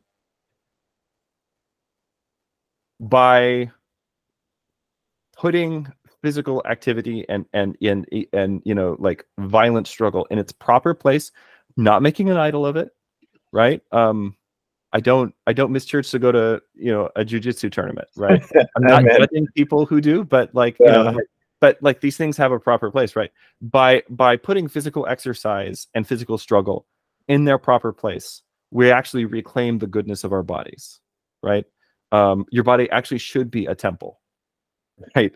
Um, not not a you know mega church, I guess. But anyway, um, um, but uh, your your body should be a temple, so you can reclaim the goodness of your body, right? And then what you'll what you will inevitably understand, and this is why the meme is kind of true. Jiu-jitsu saved my life. Well, did jiu-jitsu really save your life? No, but what did save your life? Getting off your couch mm-hmm. and going and participating in a difficult embodied struggle with other people and forming relationships based on that right? That's what saved your life. Now, when it comes to the fantasy stuff, I think that one of the great, and I've got a book I'm working on right now that's going to be coming out later this year, hopefully, on this whole subject, right? Um, but um, I think that fantasy literature and and to you know some extent downstream from literature, the other things that come out of literature like films and video yes. games and tabletop gaming and things like that, um, uh, that they have the potential to awaken in us what I call the sacramental imagination. So what I mean by this is that uh, you can you can um, think of Christian fantasy writing. So Tolkien and Lewis and people like this. You can think of Christian fantasy writing as the the outpouring of an imagination that believes that the physical world can become a mediator of grace, and that through simple things like water, oil, bread, and wine, we can actually come to know God and experience Him. Now, when you read a work of fantasy fiction like The Lord of the Rings, this is implicitly shot throughout all of the work. And so if you are a Baptist kid like I was growing up, um, in deeply hungry for this, but not able to articulate it and with no idea where to look, right?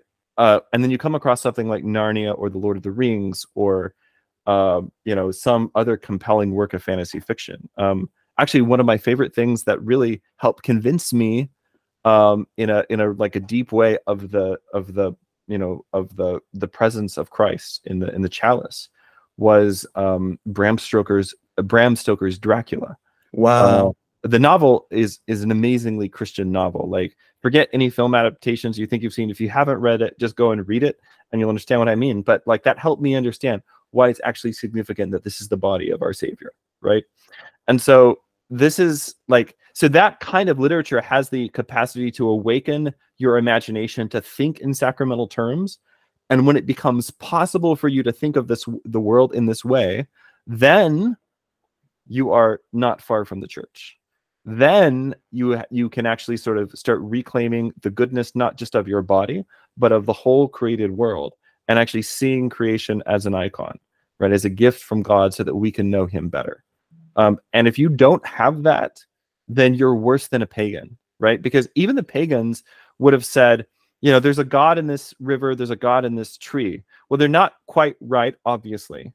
But also, in seeing a river as more than a river, and in seeing a tree as more than a tree, and being able to see both of these things as in some way are presenting the divine to us, like you know even if they're worshiping the wrong gods or something like that the fundamental you know christianity and paganism aren't two different games they're two different teams right? So like they could still see there's something more going on than just what's on the level of the material accidents. And unfortunately most christians today uh, in this country have lost that ability and fantasy is the probably our only shot at reawakening this so that then you know once we see it we can start to, to participate in the life of the church but if you just believe that water is water then when uh, you know theophany you go for like the blessing of the waters or whatever like it's what are you doing? What's all this about? This is just a quaint cultural thing. Like nothing of any cosmic significance can really be happening because water is just water. But if you can, you know, through reading some good fantasy literature, you can come to see water as like this is the primal, you know, substance of creation. This is the primal substance of chaos. There's a dragon in this water. There's, you know, like all that's you start to see that stuff. Then when you go to the blessing of the water and you hear those beautiful prayers, mm things are going to click for you, I think. So, a- absolutely. Absolutely. And um, I think one of the concepts that you guys did a really great job for me of just like having me dwell on this, like my my favorite words I would balance between before kind of coming across your work was serendipity and grace. And you reintroduced yeah. me to the idea of eucatastrophe. Oh yeah. Is there anything you can say about eucatastrophe? Um, so eucatastrophe, for people who don't know, this is a word which Tolkien coined. So a catastrophe is like a sudden calamity, right? So Tolkien coined this, and this is in his his essay on fairy stories, um, which is the sort of joke. Actually, if you go to a Tolkien conference, is every other paper is going to be on eucatastrophe because it's really like it's Tolkien's big idea, right? And so for him, what it is is the um, you know you said serendipity and grace and that's exactly it it's a it's a sudden inbreaking of grace right it's the turn that brings about the happy ending right so like things are going real real real real real real bad and then there's this glimmer of hope. There's this light that comes in and something turns in the story um and usually in a way that you don't see coming. So tolkien what tolkien said was um and tolkien's whole essay on fairy stories is basically about really it's about why it's okay to read fairy stories as a christian right? Uh, uh, fairy stories are, are, just what he means by like uh, that's just what he calls fantasy right? At, at, the time there wasn't like a genre fantasy that you know people call that but um but that's what so what he says is that the incarnation is the eucatastrophe of, of history uh-huh. so history is like going in a bad direction from Adam all the way up to the Theotokos, right? Um, and actually, even even like in her life, there's this um, uh, like this sort of like winnowing or funneling down of like all the faithful. So at first it's all of humanity, and then it's just the descendants of Seth, and then it's just the descendants of Noah, and then it's just the descendants of descendants of Shem, and then it's just the descendants of, and it just keeps going down and down and down. You know, uh, Abraham, David, you know, all the way down just to, you know, one of the, you know, narrowing all the way down until basically by the time of the mother of God, there's just one faithful family in Israel. Really, really just like one faithful family, her and her parents, and Zechariah and Elizabeth, and maybe like a few more people here and there. But but basically it's just like one faithful family left in Israel. You know, but then out of her, there's this explosion, right? This explosion that brings all of the Gentiles in, right? Which is why I get to be a Christian, right? You know, and so that's um, uh, so that's that eucatastrophe, that that sudden inbreaking of grace. You know, when Saint Paul says, uh, you know, if if the if the rulers of this world had uh, uh, had recognized Christ, that they would not have crucified the Lord of glory. I'm butchering the quote a little bit, but uh, when he says the rulers of this world, he doesn't mean you know Caesar. He means the he means the demons, right, that have enslaved mankind. It was what he's saying is like even to the heavenly powers, you know, good and evil. And this is shot all throughout our, our services as Orthodox Christians, right? That the, the the angelic council was amazed seeing the number, like like the angels and the demons both are just constantly sort of flabbergasted. What is going on? Like incarnation and everything that came from it the passion the resurrection the ascension all the stuff was a surprise to the entire cosmos. Nobody saw it coming um and we should always remember like i always try to be like a little easy on the disciples when i think about this because you know um, I, I, definitely heard sermons growing up where it's like, oh, these stupid disciples, they don't understand what Jesus. Well, nobody understood. Nobody understood, right? Even the angels didn't really understand what was happening until it happened. Um, so yeah, this is the great eucatastrophe of, of history. And then at the end of it all, he says, um, the greater does not destroy the less, right? Uh, this the gospel has not destroyed legends; it has hallowed them right? And and he says, Jesus Christ is now the Lord of men and elves. Right? And so actually for Tolkien, it's the very existence of the gospel which makes it possible and also uh, permissible to write these kinds of stories and to tell these kinds of stories and, and to enjoy them. So Amen. Yeah, that's it's it's so beautiful the way you phrased it. And you know what? His literature is is so fast and intimidating. I guess as an expert on the subject, what I'd like to ask you is would you advise someone who hasn't touched any of them to begin with fairy stories or the Hobbit or the Fellowship?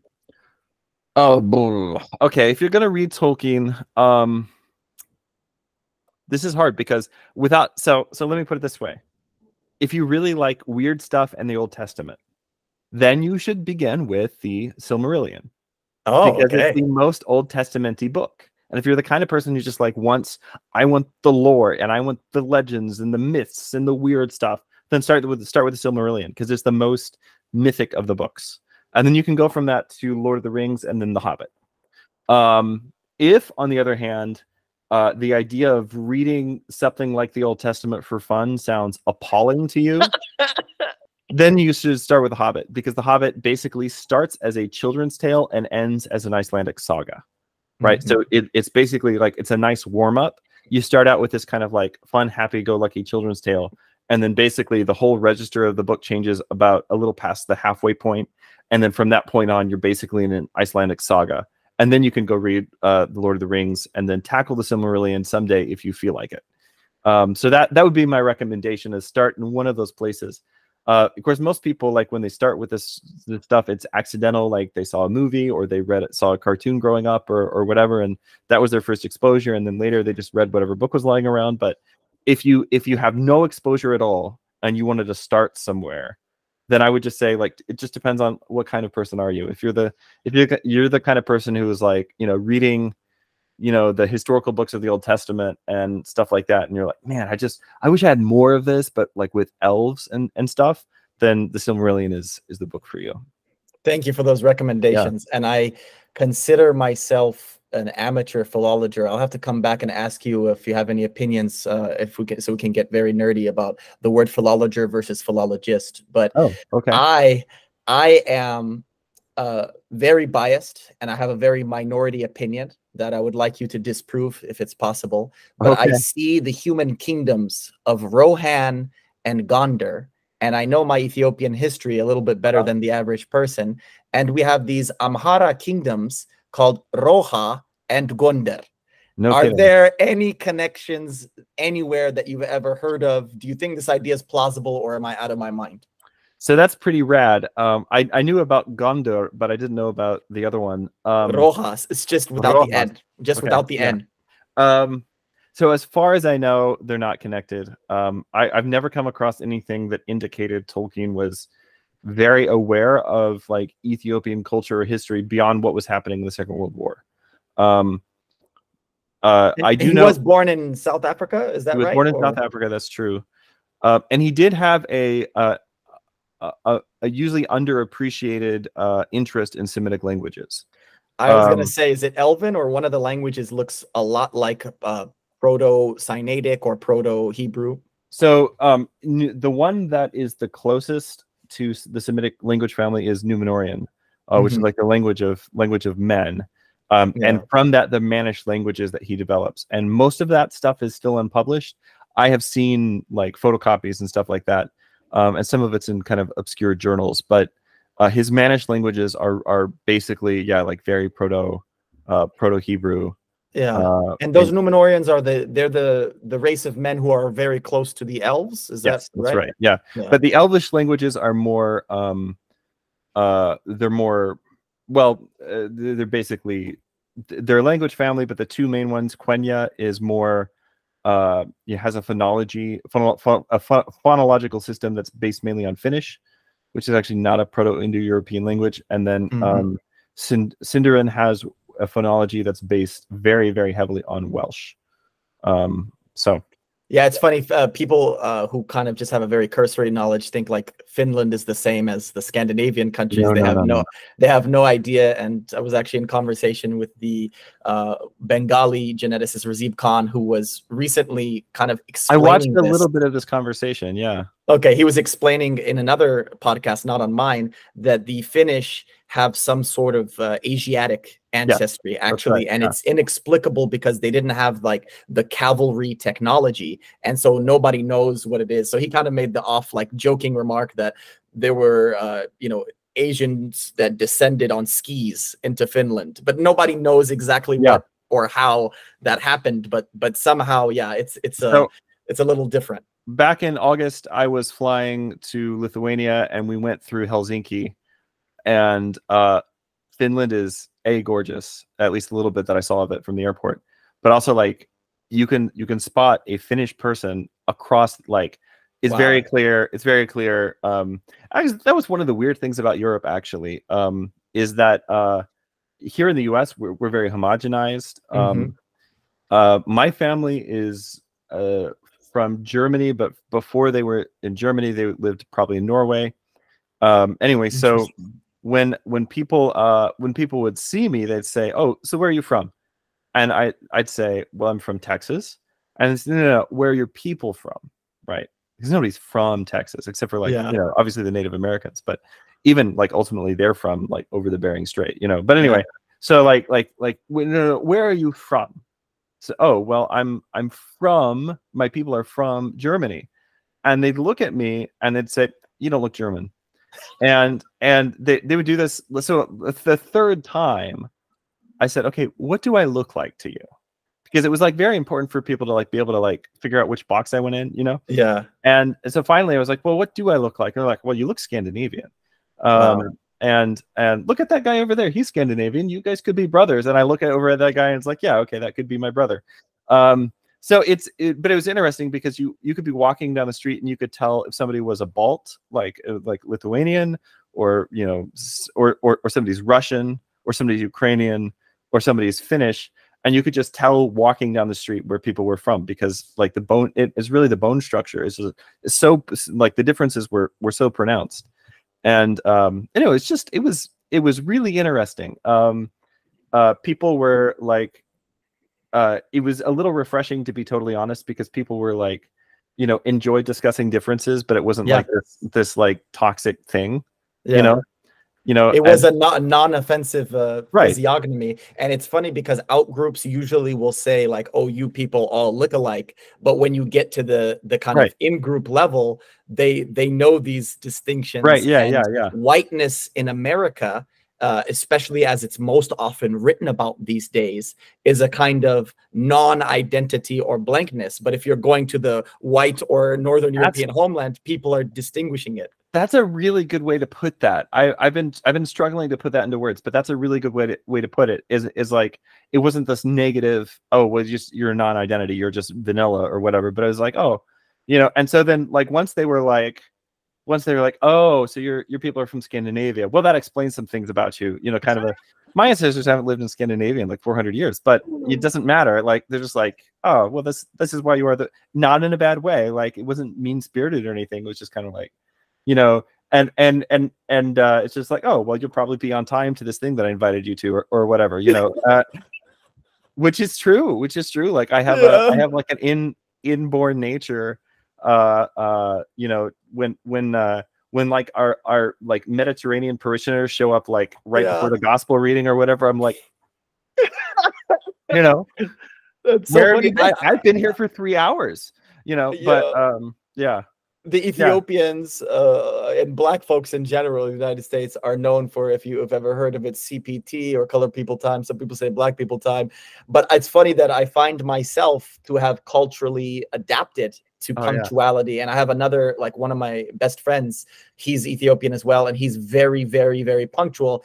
And at one time, uh, we met up for coffee. I was early. He showed up early too. And I was shocked at how him and I were so simple. I was like, How are you like this? He's like, If you're on time, you're late. And I was like, Wow. That's, my dad told me that growing up. If You're on time. So, if you're early, you're on time. If you're on time, you're late. And if you're yeah. late, you may as well be dead.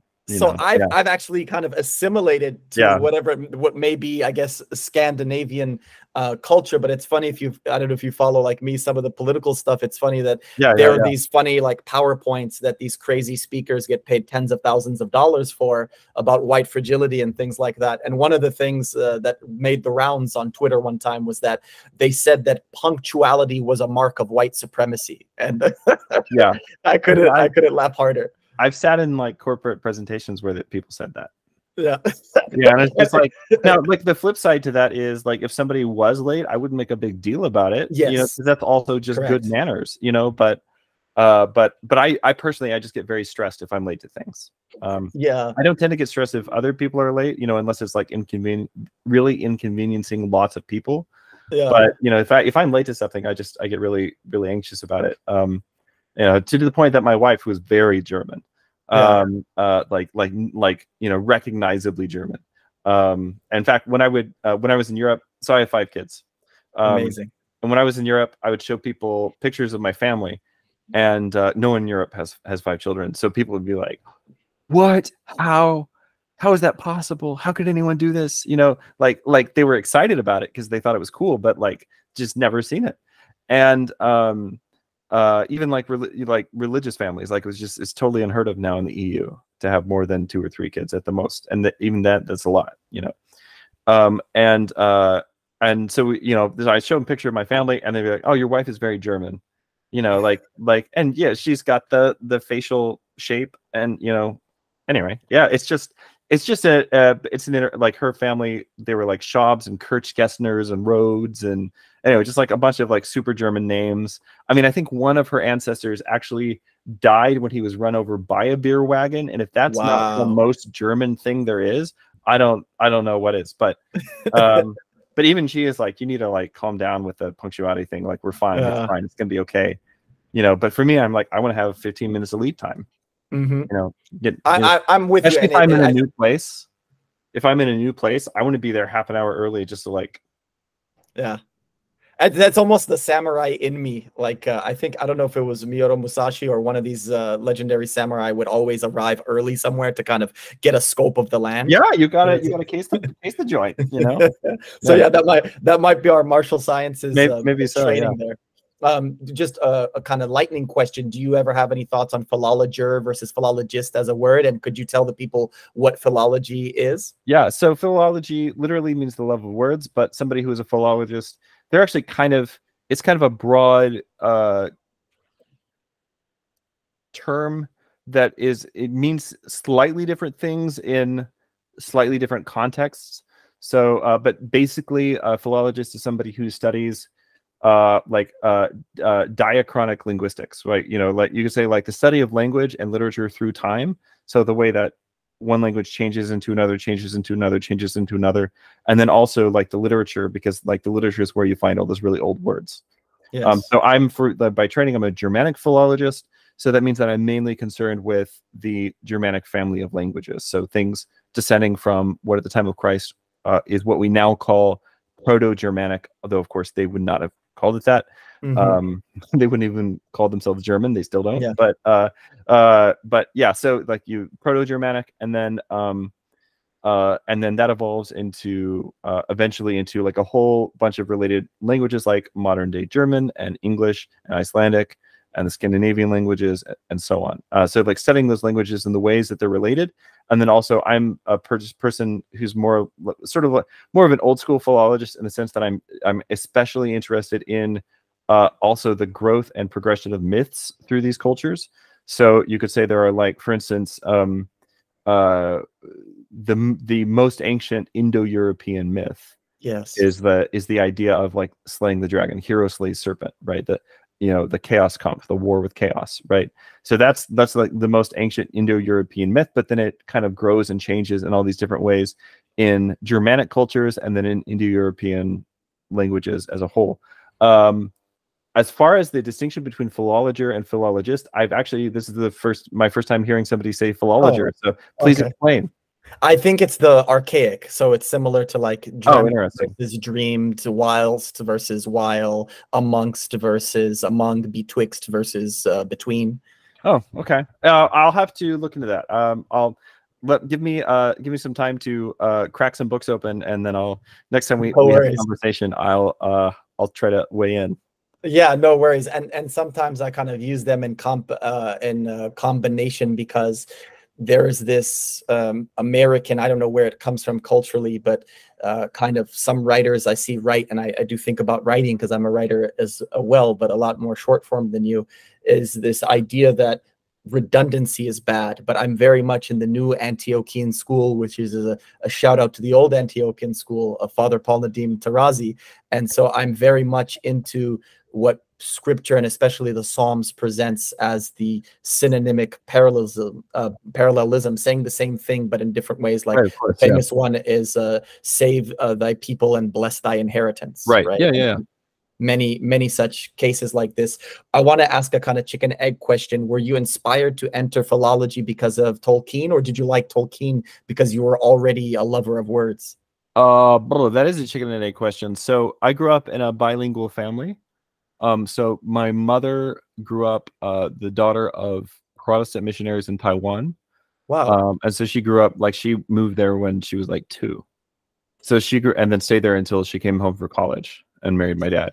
Speaking Cantonese or what? Uh, Mandarin. Mandarin. Wow. Tai- Taiwan is Mandarin. Mandarin. Okay. Uh, they also have Taiwanese, which is like the local indigenous language, but yes. um but yeah so so mandarin so mandarin was kind of my second language growing up and so this is actually how i got interested in linguistics initially as a very young person is just because uh, english and mandarin are such radically different languages. Hmm um and there's no you know there's there's really no like like tense or case uh in mandarin right? But but you have like certain words that that basically do that lifting in the sentence instead.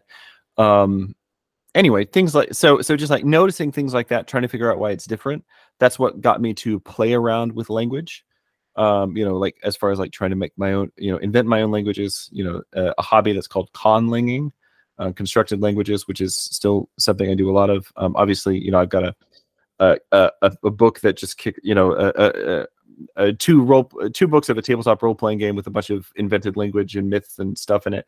But basically that's how i got interested in that sort of thing. So then when i found tolkien i was like oh i'm not the only person you know because when you're young Yeah. you're, you're like maybe i'm the only one and you're like a little Yeah. embarrassed by it so then when i found tolkien i was like oh man here's somebody who did it and like did it at this really high level and then that's what that's what ultimately uh motivated me to study philology germanic philology because that was his discipline yes. so, yeah. So obvi- so maybe my love of language comes from just the household that I grew up in, but my my pursuit of linguistics and of philology, especially as a discipline, comes from Tolkien. when I was a kid, I was left alone a lot. Yeah. And so was my best friend.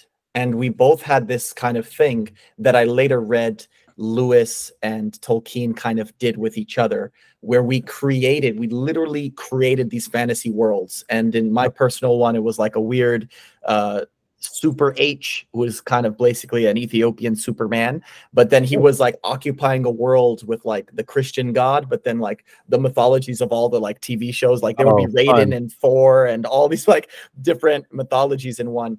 And I later came uh, when I was older to realize that this is called uh, a paracosm. Yep. And um, my friend and I were kind of like nervous, embarrassed to talk about it because people looking onto us would think we're like schizophrenic or crazy because we're like literally like full on role playing by ourselves. But then sometimes we would combine our paracosms, which I had heard uh, Tolkien and Lewis did. Did you do anything like that as a kid? And were you Oh, kind of yeah. alo- alone a lot? Uh, I, I mean, so I, I was, um, I had a lot of siblings. I have uh, seven siblings. So Amazing. a- alone is relative. Yeah. But um, but I mean, basically, yeah, I was homeschooled, and so I, you know, I do my school, and I'd be done with school. I mean, basically up until high school, there's really no reason for a kid to have to do school for more than three or four hours a day. I think. But anyway, yeah. So Same. we, yeah, I would do, I would do, uh, I would do, uh, school until like eleven or twelve, and then what? I'm gonna, yeah, spend the rest of the day playing in the backyard, or or, or meeting up with a neighbor friend, or uh you know building stuff out of legos or you know just whatever and reading obviously lots and lots of reading um and uh so i i did have a neighborhood friend I actually talked about this this morning in a in a live stream that i did on on role playing games uh with uh, with uh, Grail Country um, on on Twitter. Um, but uh, you know, I basically like we made our own worlds and our own games and like rules for playing them and all this stuff. And it's funny because none of us had ever seen an RPG before, and we had no idea uh-huh. what, what we would had not have known what that was. But we just like di- like I think it feel feels like a necessary sociological niche.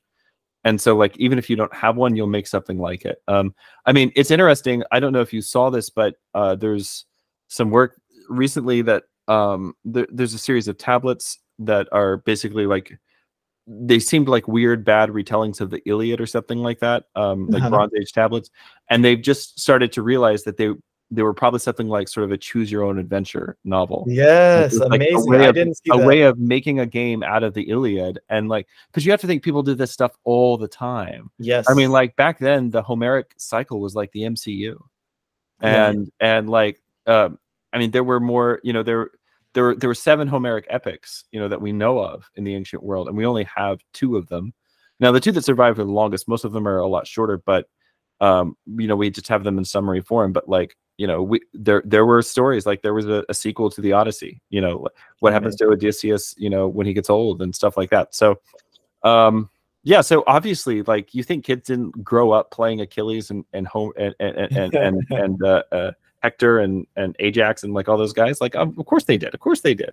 Yeah. Like, like the fact that you know most of the Iliad and the Odyssey are what cooking and wrestling. Like these are the these are things people are concerned about at all times and in all, all places. You know. So that's right. Yeah. When I was very young, and I was into R.L. Stine's Goosebumps series. My favorite of the Goosebumps series were always the Choose Your Own Adventure, and there were yeah, times yeah, yeah. where I would read the book choosing my own adventure, but then I would like rewind it and choose a different path 100%. just to see where it goes. I did those. I I n- never I was never allowed to have goosebumps as a kid, but uh, uh but uh, but I I definitely did lots of those choose your own adventure things, and uh, actually just wrote a choose your own adventure for my for my own paracosm, if you will. Yes. Um, and uh, so it it went out to like people backed me on Kickstarter for the the the the game then one of the rewards that you get is is the choose your own adventure that I wrote. Um, but it's like it's choose your own adventure, own adventure, but it's also a little gamified. So you actually you have your character sheet and some dice, and then you have the choose your own adventure, and you get to certain places, and it's like, all right, you're gonna roll for this, and then based on the outcome, you know, flip to such and such a page. You know, uh, it was a lot of fun to write. Um, I I basically to prep for that one, I went back and just did like compiled a list of here's the 20 greatest choose your own adventure and solo RPGs of all time and just like read through all of them and try to figure out why is this good? Why do people like it? And then wrote my own. So um, that, yeah, I that's that's so great. I I want to look forward to your work, and definitely when we wrap up, I want you to plug everything so everyone can continue yeah. to support those projects and get after them. And I need to. Uh, you'll forgive me a sinner before because I haven't experienced them yet, but I okay. I certainly I certainly uh, will. I want to go back to this point because I'm a you know a history buff as well, and especially in the United States history. Uh, growing up in California, I had like my fourth grade teacher, Mrs. Inouye. Shout out to her if she's still alive. When she was a kid, she was interned. She was Japanese American, and she was interned. Oh wow! And it wasn't until I was in my adult life because I knew a lot about the Japanese that I had learned that German Americans and uh, Italian Americans had some of the same things done to that. And it was some of my reading of the great American writer H.L. Mencken, who was very pro German, that allowed me to kind of uh, see that and understand that. Yeah. And and then I also lived for a time in uh, the legendary North Dakota. That's how they refer to themselves, where there are a lot of Germans and Scandinavians yep. who, who are like ninety percent of the population there. And yep. I, I, spent uh, quite a time getting to to be with them and and know them. So I got to know a little bit about this more. But you see how the kind of uh, German language is suppressed a little bit. There's also uh, you know, obviously the word Aryan but even words like Indo-European, I see in academe, and even more recently, the word Anglo-Saxon. And oh, this yeah. question about whether the Anglo-Saxons are native to the UK, to the Isles, uh, is this question that I see. I want to ask you yeah. uh, if you could talk about like beginning with germanic like and, and and this hammer in on this point of they might not have identified this way particularly because of their decentralized tribalness right. and i think the show on barbarians on netflix gets to a little bit of this but if you could talk about like how far ranging and connecting is the idea of germanic and then to indo indo-european yeah Um, so when I said earlier they don't call themselves Germans, uh, their name for the, the name of the German people for themselves is Deutsche, right? Deutsche just means the folk, the people, right? Um, which is actually probably what a lot of people call themselves. But um, but yeah, so so like uh, uh, Deutsch Germany is Deutschland, right? The the land of the people, the folkland, right? Um, uh, Germ- modern Germany as it is is a um, and I talked about this a lot um, uh, in my symbolism of of nationalism video that I did with Jonathan Pageau. It's the most recent installment in the Universal History series. Uh, so for people who who want to check that out, um, uh, the philology and actually the reason philology is is uh, practiced far less as a as a discipline now is because it was so closely tied with the rise of Germanic nationalism. Mm-hmm. So, um, I mean, the, the, the godfather of philology is Jakob Grimm, um, who was, uh, you know, famously of Grimm's fairy tales, except that that was like a side project, and his his main thing was a really big dictionary, um, and then a big big book on Teutonic mythology or, or you know, uh, uh, German mythology, which in which he gets you know a lot of things wrong because he's just kind of guessing at certain things. But anyway, the point is um when uh when the the very first like uh you know the german equivalent of like congress um when they uh when they meet for the very first time uh jakob grimm has a chair set aside for him. Um at the at the um it's not congress i can't remember what they called it now but anyway uh, uh at the assembly. Um and is basically like basically saying we're trying to create a new nation germany. And philology is an important part of that because th- there was this idea. And to be totally fair not a an, not an idea that was unique or particular to germany. Uh, we remember the germans doing it because it got out of hand later. Uh, mm-hmm. but but this idea of of nationalism is this idea that we're because we're all uh, all it's this idea all the people who are united by a particular language and then language is never separate from never separable from culture so um and even even like the woke left understands this which is why they're always trying to mess with the language right? Because it's a way of manipulating the culture. But um but everybody everybody does this. So like this this idea that this idea that um the the idea that the german you know that if we get like like there's a, a family of germanic languages so we can get everybody you know, uh, who is, you know, who who speaks this sort of group of languages and has kind of this inherited culture, uh, which includes like mythology and folklore and all this stuff. Get all those people together and let's make a united front against them. Well, who's them? Well, it's initially it's basically francophone uh, culture, which at that point dominated Western Europe um, and really mm-hmm. the world at that particular point in, in, history. Even the Russian elite spoke French. Yeah, right. Yeah, like everybody, like you know, everybody speaks French, right? There's a so, reason that the people who founded Saint Vladimir's went to France. Yeah, right. Exactly. Right. Yeah. Yeah. Hundred percent.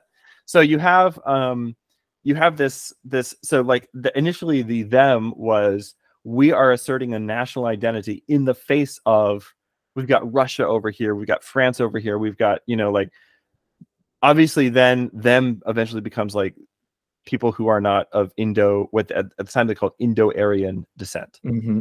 Um, which which which is basically so originally the word Aryan is related to like the name of the modern country of Iran, right? Kind of the same word. So Indo-Aryan would be a group of people who came from somewhere in the Eurasian steppe about 6,000, 6 to 10,000 years ago um, by the best guess of modern scholarship. And they were um, people who who you know were uh, nomadic, probably probably you know very like steppe culture, um, and basically rode into Europe and rode into the Indian subcontinent, and uh, and and basically founded civilizations. Which, although you know, modern people think, oh, Anglo-Saxon England and like the Sassanid Persia Persia don't have a lot in common, but actually yeah. they do. Actually, they're both mm-hmm. Indo-European cultures, and they actually have very similar like uh, societal structures and you know social mores and things like that. So this is all Indo-European civilization. Nowadays, we say Indo-European mm-hmm. because uh, the Aryan thing makes some people nervous for, for good for a good reason. Like I I'm yeah. not, but but so so that's um that's what we mean by Indo-European. Now, uh, so because Germanic philology was very closely involved with the rise of German nationalism, mm-hmm. which obviously ended in a very ugly way right? Um there's there's there was like this massive overcorrection in the other direction. So even like somebody like like tolkien who was a germanic philologist but had you know low nothing but loathing for the nazi party yeah. you know famously so right? Uh, but even like his discipline and and like the chair his chair at the university and things like that was all affected by this right mm-hmm. and so um of course they didn't call it they didn't call it germanic philology at the time at at oxford they just called it the english department mm-hmm. right? Uh, you know, it's it's just it's English, right? Um, now, you know, as far as like the the what happened to the U.S. between the First and Second World War, and and just kind of in around that is that a lot of and I think that German Im, German immigrants are still the largest demographic, you know, you know by by the numbers in the U.S. Wow, um, more more than uh, the Anglo's? Or you're yeah. including you're including Anglo within like no no no no no no no like like people from people from what is now modern day Germany. I think are still wow. the largest it's either the largest or the second largest demographic. The Scotch Irish are are maybe the largest but wow. uh, but obviously people have intermarried so much it's you know but but I'm just saying like descendants by number let's say. Yeah. Um, and a lot of things about American culture are still deeply German. Like all almost all the foods except for like pizza that we we think of as being like American foods even if they're junk foods the hamburger. the hamburger, right? The the even the hot dog, which is really a frankfurter, right? Mm-hmm. Right. These like these are German foods. American beer is really just German beer, and so mm-hmm. on. Um, and so you have you had people from these Germanic countries that settled all throughout the, especially the Midwest, and uh, so like you could say the first wave of immigration that came from that came from England, like that they settled an area and they called it New England, right? Yes. Um, so but then the next wave of immigration was the germans and basically whatever the new wave of immigration is we hate those guys so when, it, when, it, was the germans coming uh it was you know they were they were like heavily discriminated against um, there's a really good case to be made i spent a lot of time uh, in my undergrad um, doing um, a research project on the prohibition which is a period of american history i just find yes. really fascinating and there's a very strong case to be made that the prohibition was basically fueled by anti-immigrant sentiment against German and Irish Catholics. Wow. Um, uh, Germans especially, so Germans don't drink uh, hard liquor as a rule. Now, obviously, there's things like schnapps and, and so on. I'm not saying that nobody does it, but it's not a part of like German culture the way that beer is. So we're all, obviously all familiar with like the sort of the the the parody that Oktoberfest has become uh, in this country, but uh, there's there's but but like the the the the center of the German community is the church and the Biergarten, right? Yes. The beer garden, right? And the beer garden is uh it's an open air place as the the garten kind of you know a, a, a gart is something with a wall around it right so it's like kind of an open air place and they make the beer there but then there are tables and there's grass. And what do you do? You go and you have a couple of beers and you go it's a whole family thing. You go to church you go to mass and then you come to the beer garden afterwards. Yes. and the kids run around and play and we have these breweries like this one of my favorite places to go with the family. Uh, i don't do this so much because the friends that we uh, used to go with the most kind of moved away but there's this awesome kind of beer garden um, brewery just like five minutes from our parish and you go there and they have it's this exact same. it's open air there's grass there's like a little they have like bikes and stuff for the kids and like a little track where they can drive them and toys and a playground so you can come and you can have a couple of beers and your kids play and it's very wholesome. Nobody gets like stupid drunks. There are kids here, man. And and and so everybody's like well behaved. And but what are you you're having some beers, you're talking, you're cooling off in the heat, like all this. It's just really great. And that was the basis of like German American culture, especially like in the Midwest, uh, which is where my people settled in Ohio originally. Um, but also there were a lot of Germans that came down to Texas and Mexico called the it's a group of people now uh, that call themselves the Deutsche Mexikaner. Uh, that is that is the the the German Mexicans, right? Yeah. yeah. Uh, and this is where uh, to tie all of this back to the UFC, um, uh, Modelo, uh, yes. brewed for those with a fighting spirit, um, uh, Modelo is uh is a German beer, right? Um, I did not know that. Yeah. Oh my god! All American, like uh, all Mexican cerveza is German beer. So Modelo, wow. like any you. any uh any well specifically any Mexican lager, right, mm-hmm. is a German beer, and it's because why? Well, because a bunch of Germans came and settled in Mexico. At one point, German uh, Mexico even had a German emperor, and and he brought a bunch of brewmasters with him, and they set up breweries and yeah. those breweries are the breweries that now make Modelo and Dos Equis and and you know Corona and all that stuff. So like all that stuff is like that's all German beer, you know. So um uh and and actually Mexico today remains the only Latin American country which drinks more beer than it does wine. Wow. Um so anyway, um yeah, so so there were a lot of Germans that settled down here as well and there's a huge German presence in central Texas. All the place names are German place names in central Texas. Um, but very much like other places in the country between the First and Second World Wars, people changed their names, you know, Schmidt to Smith and so on. Mm-hmm. Um, and a lot of people just stopped speaking German, uh, which is um, unfortunate because actually the, the the the form of German that they were speaking as immigrants is older than what's currently being spoken in modern day Germany. And so there are a whole lot of there are a whole lot of just from a philological standpoint it's really interesting if you go find people who still speak this dialect of german and there are some people like the um, amish uh, it's a little bit like that. Um, that's kind of a uh, that's another example, but uh, uh and uh, like a weirder example for certain reasons. But a very very um, uh, so for instance, the word skunk, right? A skunk. Mm-hmm. Skunk is not a German word. It's a um, anything with a K like that, like an SK sound, probably comes from uh, ultimately comes from uh, uh, Danish. Um, but but like skunk is not it's not an Anglo-Saxon word. It's not an it's not a German word.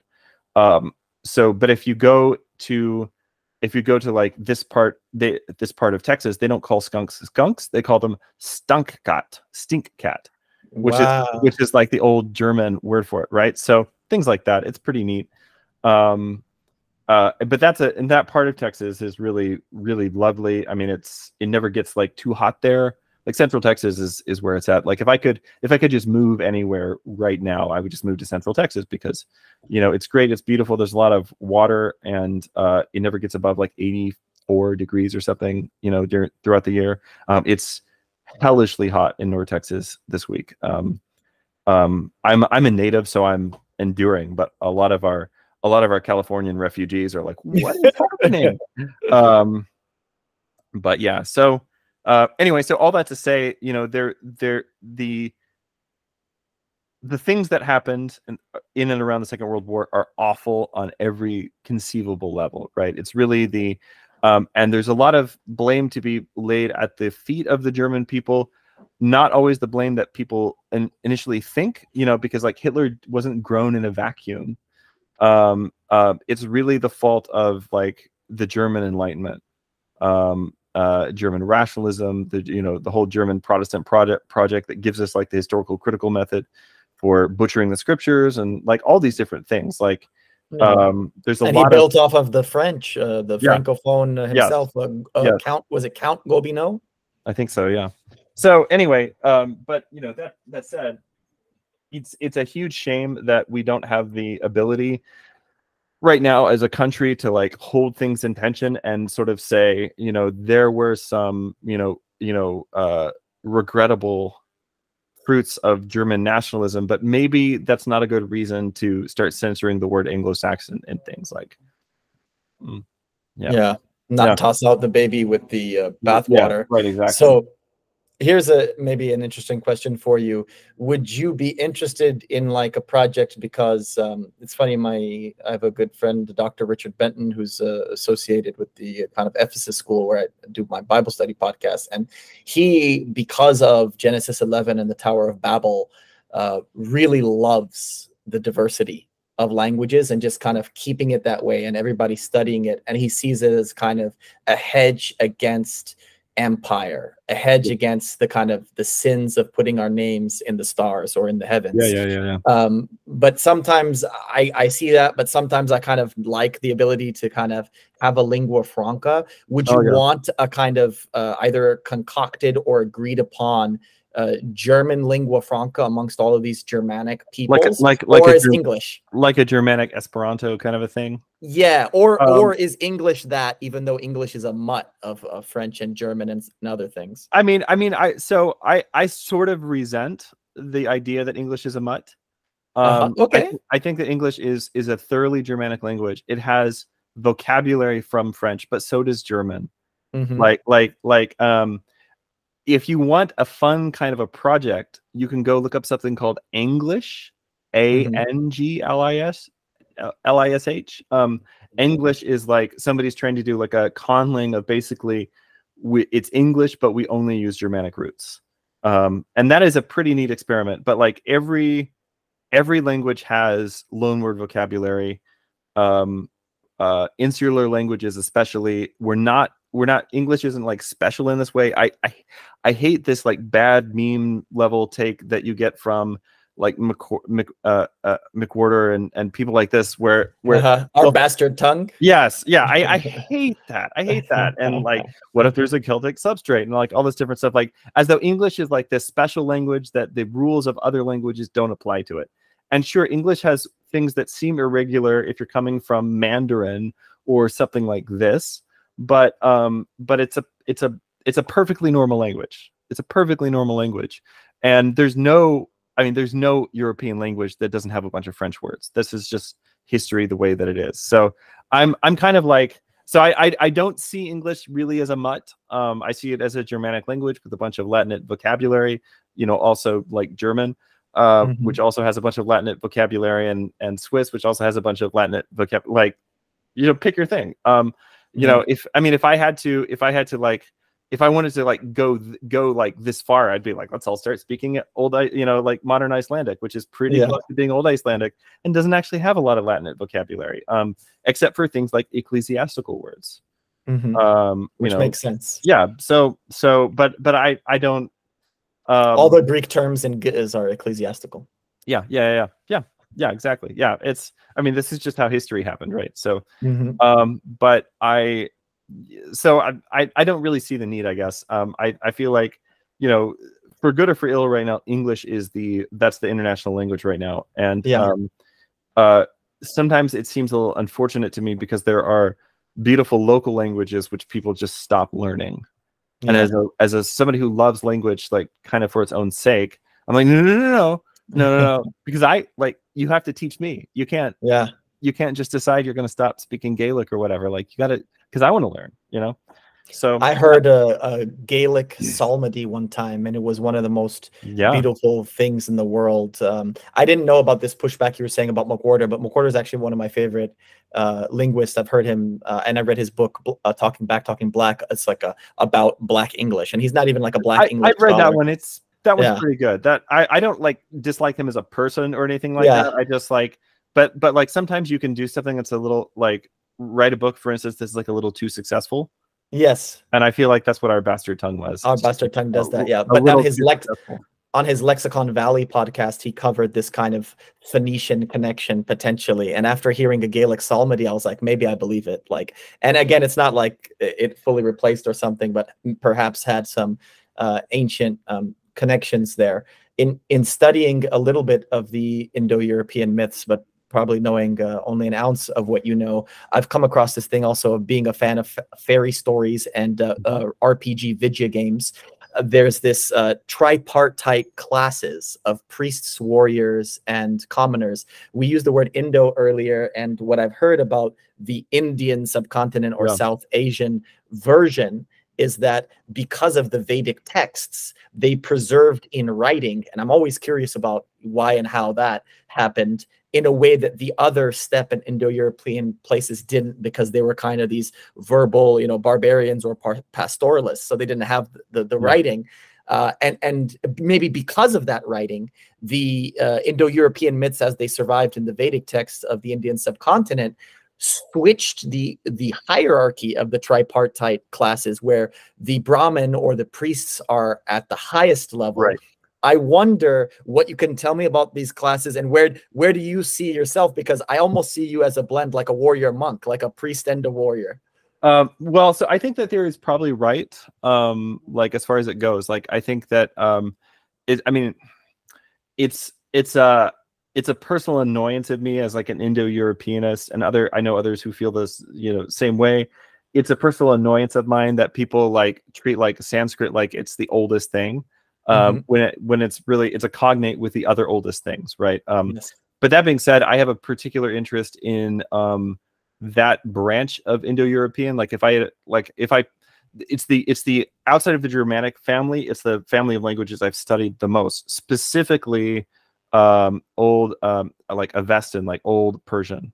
Um, it's kind of my that's that's low key. That's my favorite language. Um, um, and um, it's definitely the case. I think that uh, um, the, the, there there is something like the old class structure or the old. I mean, uh, even in um, uh, the Middle Ages, right in the West, you had the the division of society into mm-hmm. those who work, those who pray, those who fight. Yeah, yeah. So, um, yeah. Uh. Are you are you a warrior? Are you a priest? Are you are you both? I don't mean priest like an Orthodox yeah. Christian priest, yeah. but like you're obviously into literature, which is very priest-like, but right. you're also a warrior. So do, um, do you do you uh, smash these together? Are you the in the liminal space between these tripartite classes? I, I mean, if I if I had to pick like favorite person, you know, from the Bible, right? It's the the the king and prophet David, right?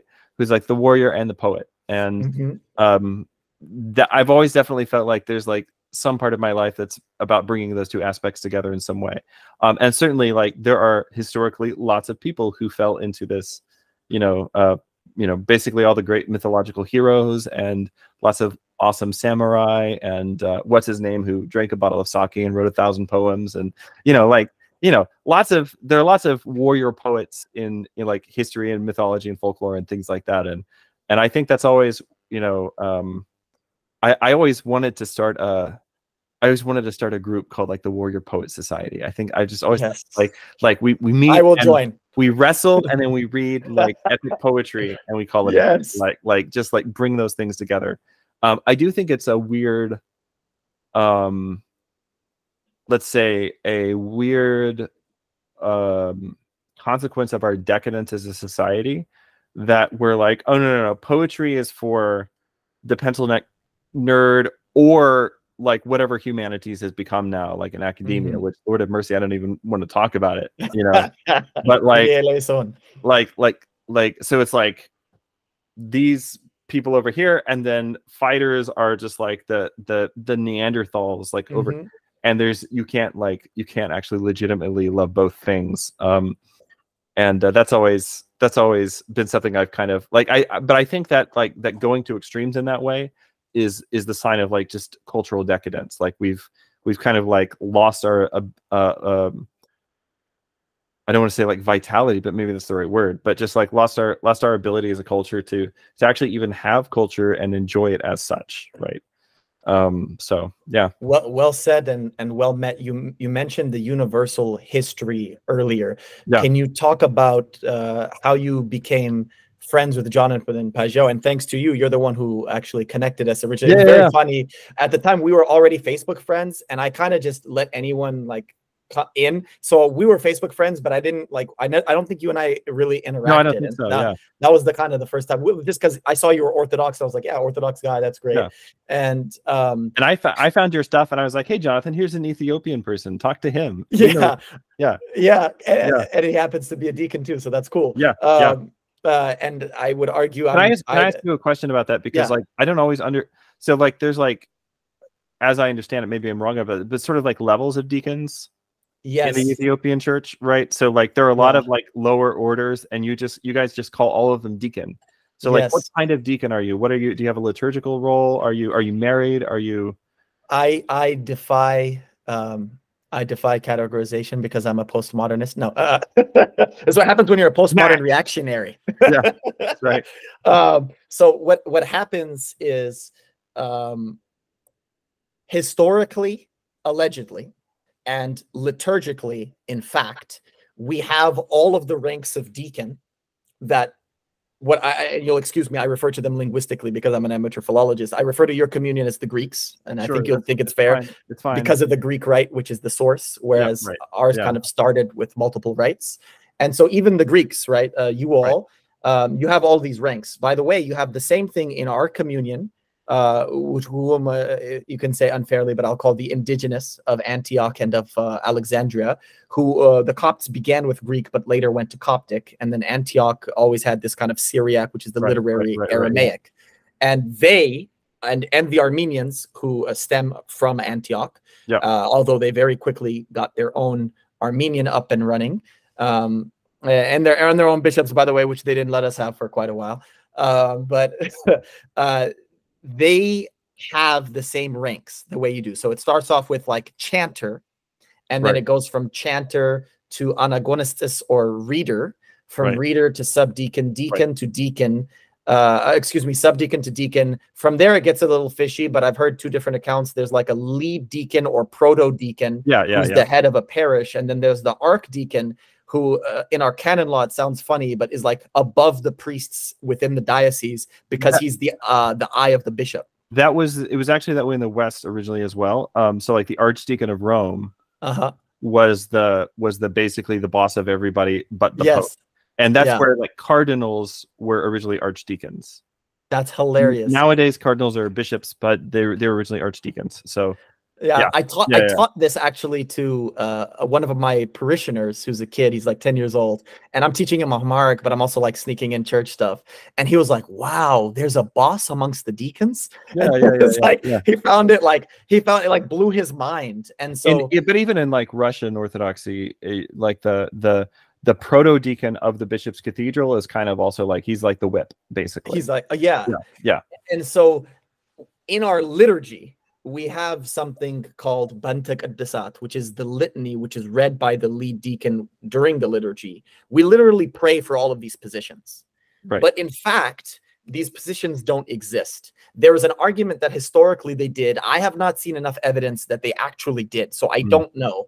But there are a lot of moments throughout Ethiopian history which have these uh, existential crises. And one of the one that particularly is heinous to the church is this moment in the 1500s with the rise of a man called Gragn Ahmed. Have you ever heard of him? no, this is later than my reading it Okay, so so uh, no worries. Uh, Graing just means the left-handed one or the lefty.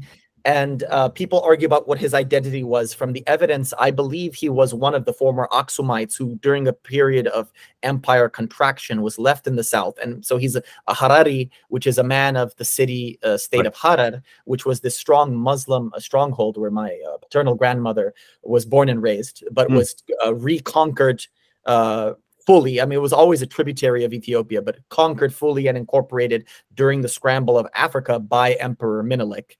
Okay. And um, but this guy in the 1500s, when it was just a tributary, kind of had enough and made a full-on assault on Ethiopia with the Somali who were part of his militia, and then with the outside help of the Ottoman Turks, who for 300 years had our ports, which were in uh, modern-day Eritrea um, and uh, the Yemeni as well. So he had Turks, Yemeni, Somali, and the people of Harar who are Semitic speakers. Um, and uh, obviously the Somali are Cushitic. And he led this army and destroyed almost all of Ethiopia for 11 years. Okay.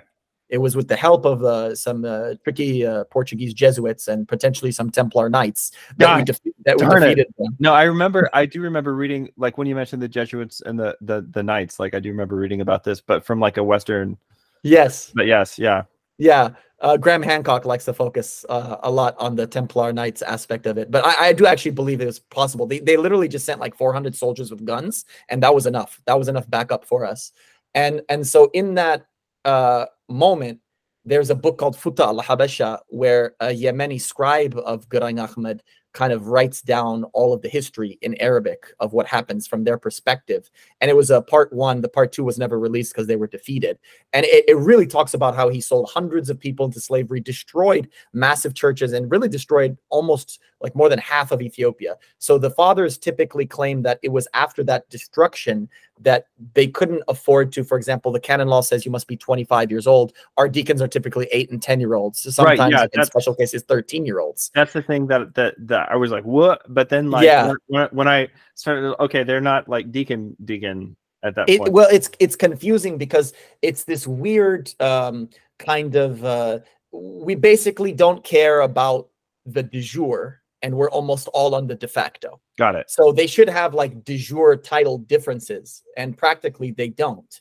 And so, yeah, an eight-year-old kid could be the same as me. But they said we can't afford, basically, after Gragn Ahmed, to ever let, and beca- particularly because we had Coptic bishops, we can't afford to, uh, who didn't come that often and who themselves had a lot of scandalous histories. You know, sometimes there's a Muslim, sometimes they have concubines, a lot of strange things uh, Yeah. that happened uh, between the relationship between Egypt and Ethiopia. But we can't afford to be so stringent in our requirements for deacons. So we need to get them as, as young as possible. And there's thing, um, it's not uh, stilettos. There's this weird word for what uh, people believe happened to Michael Jackson.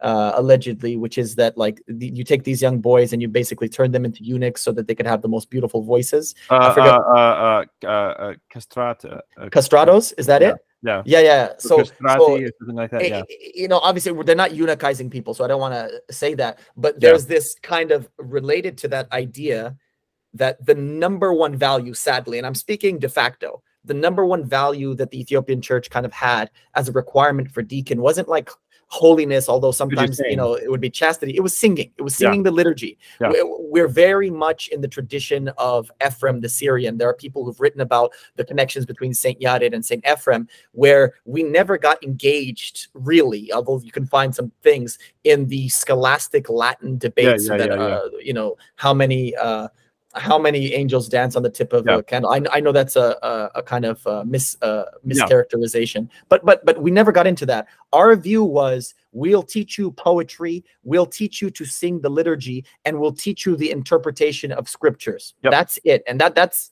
and and primarily the liturgies is like um there is respect for the scripture and the patristics but but really if if you want to be honest like what has captured the heart of most people is the liturgy uh, and, and not just the eucharistic liturgy but we have non-eucharistic liturgies which Right. Yeah. go Yeah. from, Yeah.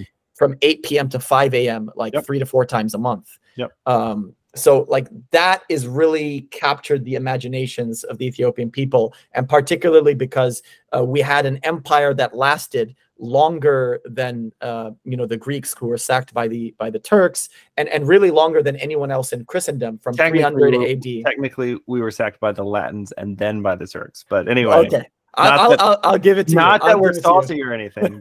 I, I, I'll give it to you, but like Yeah. from 300 AD to 1974, Yeah, we had a Christian empire, Yeah. and so that allowed us to have even more elaborations upon the kind of singing tradition Yeah. than even our our sister churches of uh, Alexandria and Antioch, uh, the Copts and the Syriac did, and so they just cared about little boys singing. And, and obviously, as they get older, they do that. What Yeah. they do instead of the de jure ranks of uh, filing deacon, which they don't distinguish between, you have eight year old archdeacons basically, okay. is that when you get into your 20s and 30s, uh, and by the way, I'm, I'm in my 30s and I'm married and I have a beautiful baby boy of about four months right now. Thank God. Um, uh, amen. When when you have, uh, and maybe I would hope to have as many as you one day, but when you get to your 20s and 30s, they kind of uh, pressure you because they don't trust you and they don't believe you, and they say, "Are you going to be a monk or are you going to be married?" And so first you need to figure that out. And then you usually by your 20s and 30s will begin specializing either in literature or in uh, in like the biblical literature and uh, patristics, or in some type of Eucharistic liturgy or non-Eucharistic liturgy, or in the poetry uh, Mm-hmm. tradition, which I talked about with uh, Jonathan Pageau uh, for a bit. Yeah. And so once you do that, if you finish, usually, if you finish uh, one of the traditional schools, uh, of which they're all over northern Ethiopia, you usually get a title. So, for example, someone who finishes uh, Kene or the poetry becomes Magabe Mister, which means the patron or literally the feeder of mysteries. Oh. Someone who uh, completes the New Testament is called Magabe Hadis, the feeder of the New Testament or the patron of the New Testament. Magabe Belui, the Old Testament.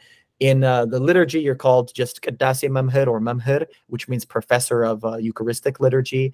In um, and Digwa, which are the non-Eucharistic liturgies, you're called Magabe Sabat, which is the feeder of glory, or Marigeta, which is the uh, choir master, like what's used in the Psalms. Some people are, are called Re'is which means uh, head of the mountain, and mountain is a synonym for the church because Hmm. many of our churches were were in the mountains, and and Yeah. sometimes likat ababt, uh, which means the um, the chief amongst the the the wise ones. That actually used to be a title for people who made uh, handwork like blacksmithing and craftsmen and, and iconographers but it, it later became used for the the choir masters as well sorry for that lengthy response but that's no, that's, that's, the, super. the explanation. actually. That's really cool. Um, uh, yeah. Um, I had so many thoughts, and I've lost track of a couple of them. about but, um, about the ranks of deacons or or which part oh or- no, I was just thinking about um. Uh, so so uh so I'm a huge, let's say, devotee of Saint Ephraim the Syrian. I've got his icon Mhm. right over here. amazing and uh for for me like he's sort of like uh kind of like peak of church fathers for me Yes. um i mean and i really disciple jacob of sarug yeah yeah. I really like i really like jacob's stuff as well. And i, I that, you know i love the cappadocian fathers. What i really love about saint ephraim is that he's kind of uh you know he's living the same time as the cappadocian fathers. He's contemporary with them. And he's saying actually all the same things but he's saying it in poetry which for me um and what i uh, so for me that's a more natural mode of of actually talking about these things. Um and this is part of why when i talk in public i talk about stories but you'll never catch me doing apologetics Mhm. um and Yeah. the yeah the re the uh, be, because that that sort of like discursive like debate kind of style and i actually you know i took debate for a couple of years and me too and and uh you know ha- had a pretty thorough western theological training but it's just non-intuitive to me um and the thing that i uh, i uh, kind of attribute this to is that although i didn't grow up in a liturgical tradition there was a huge emphasis placed on the daily reading of the psalms. Um and so i would get up every morning as a very young boy you know i'd get up at six or so in the morning and before even you know the rest of the family was up um, i'd get up and i would read the psalms and basically like read through the psalter every sometimes every week sometimes every month but just like on a schedule would read through the psalms. And so and then also through proverbs. So that you know that parallelism right that you get in semitic poetry. And actually anglo-saxon poetry has something very very similar called apposition um, where again you just restate the same thing but in like in a Mhm. kind of a slightly different way that actually sheds a little bit of of light on the thing that you're saying. Um, but that that parallelistic uh, mode of poetry is uh, for me that's that's kind of that's my native language right? And so like coming across uh, uh, some of his beautiful long poems on the i mean i've got his full works right over there but um you know beautiful long poems on things like the annunciation and the nativity of our lord and, and stuff like this. And his long poems against arius and, and all these different things. I mean to me that's like this is this is like that that's my my preferred way to to kind of talk about these things um is to is to set them diverse and and you know nobody did it better than him. So yeah i'm a huge fan I want to give you brotherly pushback, and we'll see what you say. Um, like I said, I'm associated. I don't know if you know them as well, like Father Paul Nadim Tarazi, Father Mark Boulos, Dr. Richard No, Benton. really Um, so Father Paul was the longtime uh, decades uh, uh, Hebrew Bible teacher at um, St. Vlad's, and I'm actually taking a summer course beginning in a couple uh, in a week or two with one of his uh, students as well. Funny. So that'll be fun. Yeah. um, it'll be uh, my first uh, kind of formal theological training course, and it'll be just Hebrew Bible uh, summer. oh, fun. Very, very like no. I'll be doing I'll be doing um the Hebrew scriptures and the Psalms, especially with Father uh uh, uh Bogdan Bucur, who who teaches the Psalms at St. Vlad's. Yeah. Amazing. I think this is uh, Michael Legops, Legaspi, uh, Father uh, Michael Legaspi, if I'm not mistaken, um, who grew up actually, you were mentioning Filipino martial arts. I think he grew up Filipino and Catholic and then Oh, converted. Yeah. And by the way, we have a Filipino father son duo. The son is very famous on TikTok at Toronto at the parish St. Mary's Cathedral, where we have a Bishop Demetrius, as well as the uh, mother of the Weeknd, the artist formerly known as the Weeknd, now Abel Tesfaye. And he Yeah, yeah, gave yeah, yeah. fifty thousand dollars to that parish. So the father is a, a Ethiopian Orthodox priest, and the son is an Ethiopian Orthodox deacon who sings in Amharic, and he has the traditional instruments. He's he's amazing. They're That's they're both uh, they're both very amazing. Um, uh, but um, what was I? I'm losing my train of thought too. Push back But, uh, about something. Oh, the pushback. Thank you. So, um, this kind of school that I'm in, and I asked Jonathan the same question, so I want to see how you respond. Um, sees a tension I would say we really like Saint Basil's, let's say, liturgy and and prayers and what he has to say about the poor. But like we're very uh, skeptical of what we would call heresy, like that all that should that all shall be saved. The apokatastasis that DBH has been pushing lately. Yeah. And, and that may be just a caricature of it, but do you see any tension between this um, so that's this, not and this uh, the Syriac and the Cappadocian fathers. That's not really Basil so much as just Saint Gregory. Gregory. Gregory. No, I know and, it's Gregory, but he's yeah. one of the Cappadocians. So do you see any tension between Cappadocians and the Syriac? So with some of that stuff, I feel like there's a lot of um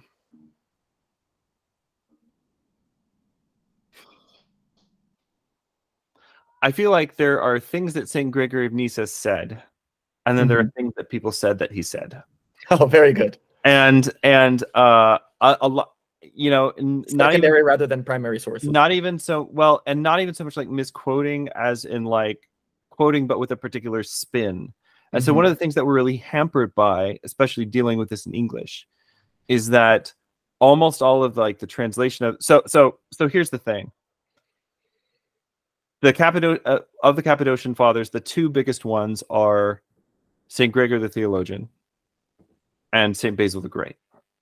Um, you know, and obviously, like a lot of Saint Gregor the theologian stuff is like super essential, at least for us in the Greek church um, the you know the the what is not assumed is not redeemed. The um, you know the whoever does not acknowledge Mary as the Theotokos cuts himself off from the Trinity. The you know things like this right? Um, uh, and then Saint Basil you know as well his work on the Holy Spirit there's stuff on the Holy Trinity. Of the three of them Saint Gregory of Nyssa wrote the least and has been translated into English the most. Wow. Because his the the translations of his works and I love Saint Gregory of Nyssa so I'm not maligning him. Um, it would be fruitless to do so. But the the people who translate him are basically were mostly Anglicans of a certain liberal bent who are mm-hmm. looking for fuel for their sort of pet theological things. So actually, they'll take things that were not really, let's say, essential to St. Gregory's theology, mm-hmm. but then mm-hmm. they'll they'll make them into here's a patristic case for this all shall be saved, which is certainly not what the scriptures teach, certainly not what the church teaches. Um, and not, I don't really think it's what St. Gregory of Nyssa believed either. Um, That's fair. But, but, um, you know, the, the, the things that, you know, for me that are really essential in St. Gregory of Nyssa are his, his homilies on the Beatitudes and uh, uh, the Lord's Prayer, which are extraordinary um, his work on the life of Moses, which is extraordinary. And I think that's where you see the closest parity with Saint Ephrem, for instance, um, just the way that he reads the scriptures. Yeah, um, uh, Joe said the life of yeah, Moses and yeah, Gregory as well. Yeah. But the Beatitudes and the Lord Prayer are new to me. I'm definitely going to. Yeah, yeah. His homilies on those are really wonderful, and um, and there's uh, and then and then uh, you know his work on on on humanity, which was really intended to be a uh a sequel to St. Basil's Hexameron. You know, since uh, St. Basil didn't, you know, basically intended to keep going uh, on Genesis and then died before he could do so. And so his brother, his brother, who was uh, certainly gifted in a lot of ways, but not as pastoral as St. Basil, uh, mm-hmm. uh, sort of picked up picked up the ball from him. But um, you know, the, I'll put it this way: there's a we have kind of a, a like a, a, like a saint legend, you could say, like a hagiog, hagiog, hagiographical legend. No idea if it happened, you know, in history. It doesn't really matter for these purposes, but uh, there's there's this legend that Saint Basil and Saint Ephrem met, mm-hmm. you know, and like met and kissed, you know, like met and, and greeted each other yeah. during their lifetime. Of course, they certainly lived at the same time. It's not inconceivable that they would have met, but you know, like scholars will will differ on whether or not it happened. But the point of that legend is the church saying, is is the church saying these are uh, two voices, but it's the same gospel, right? And so that's so for me, I don't see a like a discontinuity between them. Uh, um, I'm not suspicious of the Cappadocians, but I am suspicious of people who want to like quote, you know, like cherry pick a few quotes from St. Gregory mm-hmm. of Nyssa and then say, oh, look, the Cappadocians believe dot, dot, dot. You yeah. know, why? Because, because you know DBH or somebody else is they're just trying to push it like a, a, a, particular kind of a soapbox. And anytime somebody comes to this stuff, like whether it's scripture, whether it's the church fathers, whether it's ancient literature or whatever, whenever somebody comes to that with an agenda, I don't I don't become suspicious of the sources. I become suspicious of the person who mm-hmm. now has this agenda, which was not part of the concerns of like like you think the fourth century church was like really like was having a debate about you know whether or not some people are going to be in hell like mm-hmm. no no nobody in the fourth century was like arguing about that or doubting that or like you can take a couple of things that somebody wrote at some time and say well it seems like somebody might have had the idea but that's not the same thing as saying the church you know was was like that this is a this is a concern of our time right this is a and and so when we take that and we try to force it backwards. It's like trying to read gender ideology into stories in the Bible or something yeah. like that. Like I'm like, you know, I, I I just I'm very suspicious of people who go into this stuff with an agenda. So I don't know if that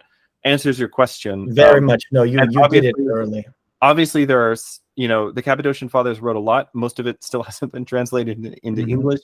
I can read Greek, but only kinda. So like it'd be very slow going, especially for somebody like Saint Gregory, Gregory the theologian. Trying to go through him in Greek would be terrifying, I think. But um, yeah. But but like um, but I but I do love them, and I and I don't think I don't think that they were really like out of sync with like let's say for instance Saint Ephrem. I think it's more a case of um, us being out of sync with them. That's so. amazing. And the Ethiopian liturgy begins, although some people mistranslate it a lot. How terrifying is this day? Or more literally, how great is the terror of this day? And yeah. so I always like to remind people that that's the Eucharistic That's liturgy beginning. yeah, some people translate it as "How awesome is this day?" because they, they want to they want to Vatican to it. But yeah. uh, but I always say, "How great is the terror of yeah. this day, and how frightening is this hour in which the Holy Spirit is descending or coming down upon me and upon all of you as it comes down upon the elements." Uh, the, the, bread do and the wine. Do you guys use this? There's one of my favorite pieces of. I'm going to see if I can pull it up because I think I've got it right here in my notes in my Evernote. Yeah. There's nice. a there's a Eucharistic hymn by Jacob of Seruge, and it is it's pretty much my favorite thing.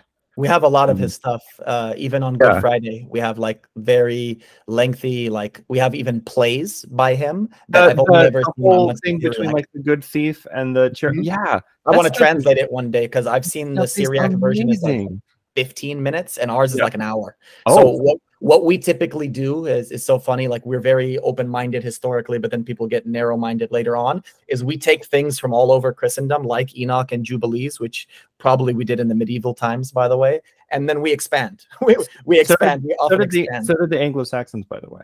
Yeah um, amazing. I did i did a video with jonathan about this but um, there's a very strong case to be made that the author of the beowulf poem had read enoch amazing. I did um, not. I there's a lot of there's a lot of like sort of hidden, not really hidden. They're just like hidden yeah. to stupid modern scholars who are like can't see what's like aren't familiar enough with with Eastern Christianity to to know that actually some people do read Enoch. You know. Yeah. And um uh there's uh uh anyway but so so so it's been missed but now people are finally starting to notice it but there's a bunch of like sort of Enoch even the name Grendel Grendel mm-hmm that's that that ending L is not an Anglo-Saxon mm-hmm. ending to a word. So here, here it is. This is the it's a, it's I just have it in my notes. Is the metrical homily of of uh, Jacob of Serug, um, but it's I think that I, I I got it from like a Coptic source, but I think that they mm-hmm. use it during like when the clergy are taking communion. Um, okay. But it's uh it's the Lord whom the seraphs fear to look at, the same you behold in bread and wine on the altar. The lightning clothed hosts are burned if they see him in his brilliance, yet the contemptible dust partakes of him with confidence. The sun's mysteries are fire among the heavenly beings. Isaiah bears witness with us to have seen them. These mysteries, which were in the divinity's bosom, are distributed to Adam's children on the altar. The altar is fashioned like the cherubim's chariot and is surrounded by the heavenly hosts. On the altar is laid the body of God's Son and Adam's children carry it solemnly in their hands. Instead of a man clad in linen stands the priest and distributes alms, that is the Eucharist, among the needy. If envy existed among the angels, the cherubim would have envied him. Where Zion set up a cross to crucify the Son, there grew up the tree that gave birth to the Lamb. Where the nails were driven in the son's hands, there Isaac's hands were bound for an offering. Welcome, priest who carries the mysteries of his Lord, and with his right hand distributes life to men. Welcome, priest who carries a pure censer, and with its fragrance makes the world sweet and pleasant. Welcome, priest whom the Holy Spirit did raise up, and on his tongue bears the keys to the house of God. Welcome, priest who binds man in the depth below, and the Lord binds him in heaven on high. Alleluia. Welcome, priest who binds men on earth, who unbinds men on earth, and the Lord unbinds him in the highest. Kyrie eleison.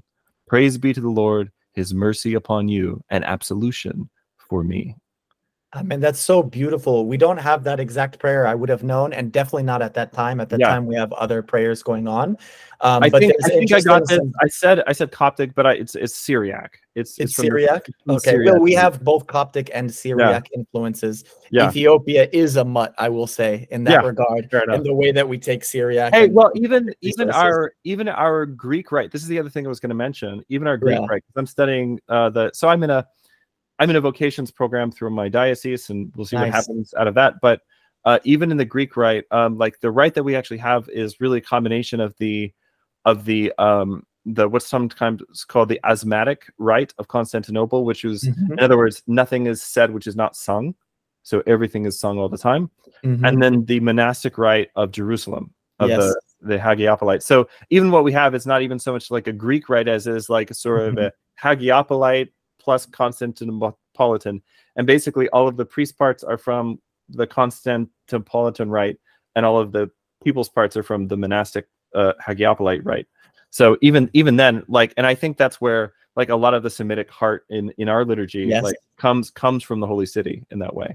Father Mark, whose uh, father was Coptic but mother uh, Palestinian, and mm. Father Paul, who is Palestinian, they have told me that, and, and Father Mark was a student of Father Meyendorff at St. Vlad's, yeah, yeah, yeah, and he, he told me that uh, a while ago, and and they both favor the the kind of the Palestinian Jerusalem monastic rite because it's also very Psalms oriented, which is why I I just absolutely loved the fact that you said you grew up doing that even as a Baptist, and um, as I've explained many times to people, the the system of even how you come to read and write in Ethiopia traditionally goes through yeah. that. So my father oh, went through beautiful. that system. He learned how to read and write by having to recite out loud the Psalms in three different tones in Ge'ez. And wow. that's our version of kindergarten. Amazing. Yeah. That's amazing. um, I've got a Ge'ez uh, grammar over here, and I've been I've amazing. been tooling around with it a little bit, but uh, I'll have to hit you up with uh, questions. Please, I yeah. I would uh, I, yeah. I would I would love that. And on that on that topic, you mentioned the universal history earlier. Could you yeah. tell the audience what your universal history series was and uh, why did you spend so much time on Ethiopia? I had many Ethiopians yeah. sending it to me yeah, yeah, yeah, before yeah, you even reached out, and they're and, like, "These guys are talking about Ethiopia." Yeah, and obviously I got some things wrong, uh, but I hope the love was evident. Um, yes, yeah, it was. Uni- it Universal was. History series is a is a series I started doing two years ago now with Jonathan Pageau and we're still doing it. Um, we still do like about one video a month or so. Uh, so it's a pretty big back catalog. Uh, actually, the most recent one, we kind of do like a reframing of the whole project. So people are curious, like just go watch the most recent video. It's called "The Symbolism of Nationalism." Um, that's that's a good kind of like understanding what do we mean by universal history. But basically, it's the idea that civilizations, when they convert to Christianity, that they have to write themselves into um, they have to write themselves into the Christian story, and then to some extent they also have to write themselves into like the Greco-Roman story. Um, but the reason that I liked uh, Ethiopia, and this is why we did like our first four or five episodes on Ethiopia, Amazing. is because it's outside the empire. Yes. Right. It was outside the empire. So outside the Roman Empire. Yeah. Yeah. Outside the Roman Empire. And so because of that, um, there's a um, it's it's like a, it's like the best proof case for what we're talking about because there there's a there's a blend and a lot of the I won't say this is the only kind of person that I'm talking to when I'm doing these things, but I always have in mind like who's the person who wants to argue with me, and not because I'm doing apologetics, but because I want to like, well, like I want to tell a story that they need to hear, right? And so, for me, it's the it's the when I was growing up, like, um, and actually when I went to seminary, Protestant seminary, right? Constantine is the big bad guy. Yeah, yeah, he's the big he's the big Satan, you know, in yeah. the story of Christianity. Like Christianity was this perfect Baptist thing, right? Like I literally, there's something called landmarkism or Baptist secessionism, and it's the Uh-huh. belief that the church at Jerusalem in AD 33 was a Baptist church Yeah. with a with a with a congr- I, You're laughing, but I grew up with people who believed this. I went so- to college with them, the Church of Yeah. Christ people, part of the American. yeah so the uh, church of christ the church of christ is like uh um so landmarkism was created as a response to church of christ because what Mhm. church of christ believed was the early church looked like this Yeah. and then constantine came along and ruined it and there have Mhm. been no christians until like the 19 Yeah. whatever right Their website So- says their church starts in 33 AD. Right, the only right. thing I tip my hat to them for is that they their services are a cappella. Yeah yeah I, I i do love that they that they have a cappella services um yeah i i've got a lot of former church of christ friends who are now orthodox actually uh so we talk about this a lot. But the baptists like so so um but that that was part of the campbell movement. And the Mhm. campbell movement uh basically kicked off in like tennessee kentucky area which was all baptist before that. So the baptists needed a response to this claim because what the campbellites were saying wasn't just that the Catholics have never been real Christians. They're saying actually also the Baptists, Methodists, Presbyterians, you guys are also not Christians. Um, because we're we're the the church has been missing until us, right? Mhm. Which is a very American thing. Like that's you can always tell it's an American religion because the same thing with like Mormonism, right? Is which is like the premier American religion. It's the idea that the church has been missing until me. I'm like, and I'm the one, I'm the one that's gonna s- solve everything. So, uh, so the Baptists needed to respond to this. So they came up with something called landmarkism. And the idea of landmarkism is that not only was the first church in Jerusalem Baptist, but coming forward through time, they they took all of these heretical groups, like the Donatists, for instance, or the the Manichaeans, or the uh, uh, Macedonians, or like these other like various heretical sects over the course of the the history of the church. And they said, actually, that's just Catholic propaganda. These churches were really Baptist. And so that's how they have this unbroken. So it's like a Baptist version of apostolic succession, basically, um, which is pretty wild. It's pretty wild. So uh, anyway, the the I don't even remember where I was going before we were that. talking about you were before that we were talking about why you wanted to have as not an apologetics, maybe what I would describe yeah, yeah, as yeah, like yeah, yeah. teaching or pedagogy. Yeah, yeah. So why you're trying to, good way like- to put it. So the Yeah. reason that I so so the person that I have in mind, you know, among other things, is the person who's like, oh well, Christianity was just this perfectly Baptist thing. No icons, no Eucharist, no altar, no sacrifice, no liturgy. Just it was just people getting together and singing some psalm songs and then hearing a sermon. And it was a congregational polity and all this stuff until Constantine came along and then forced everyone in the Roman Empire to paganize Christianity um, which which is of course not the case. It doesn't hold up to even the littlest bit of historical scrutiny. But I like Ethiopia as a great example because it was outside of the empire, right? The Roman Empire, right? You guys had your own empire, right? So it's outside of that, and it's this wonderful witness to like the quality of early apostolic Christianity, right? And this is why I mean you know, because of the Chalcedon thing, technically we should be closer to Rome in terms of our Mhm. theology, right?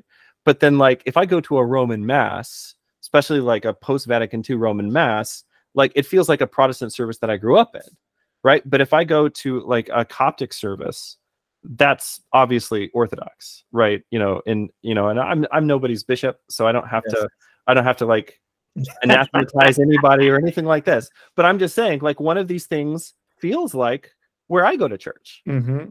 right? And it's not, it's not like a Vatican. I mean, we've been to, I've been to two Vatican II masses since I became Orthodox, and um, uh, went to one of them with my wife, uh, who'd ne- who'd never been to a mass before, um, and she was just like, "Now I'm mad."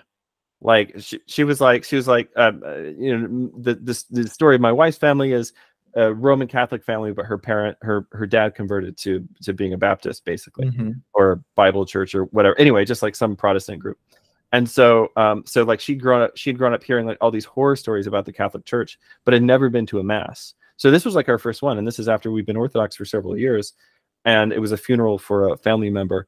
And we went, and of course, we went to just you know pray for the family member and everything else. But then like we're leaving, and she's like, "I'm," she was like actually upset that this was the thing like it was so close to a protestant service like with with the exception of like they gave communion at the end you know uh there's no difference.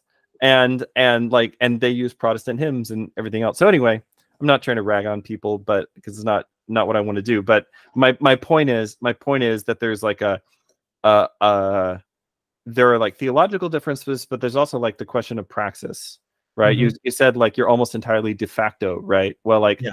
De facto one of these things is not like the other. Mm-hmm. so yeah.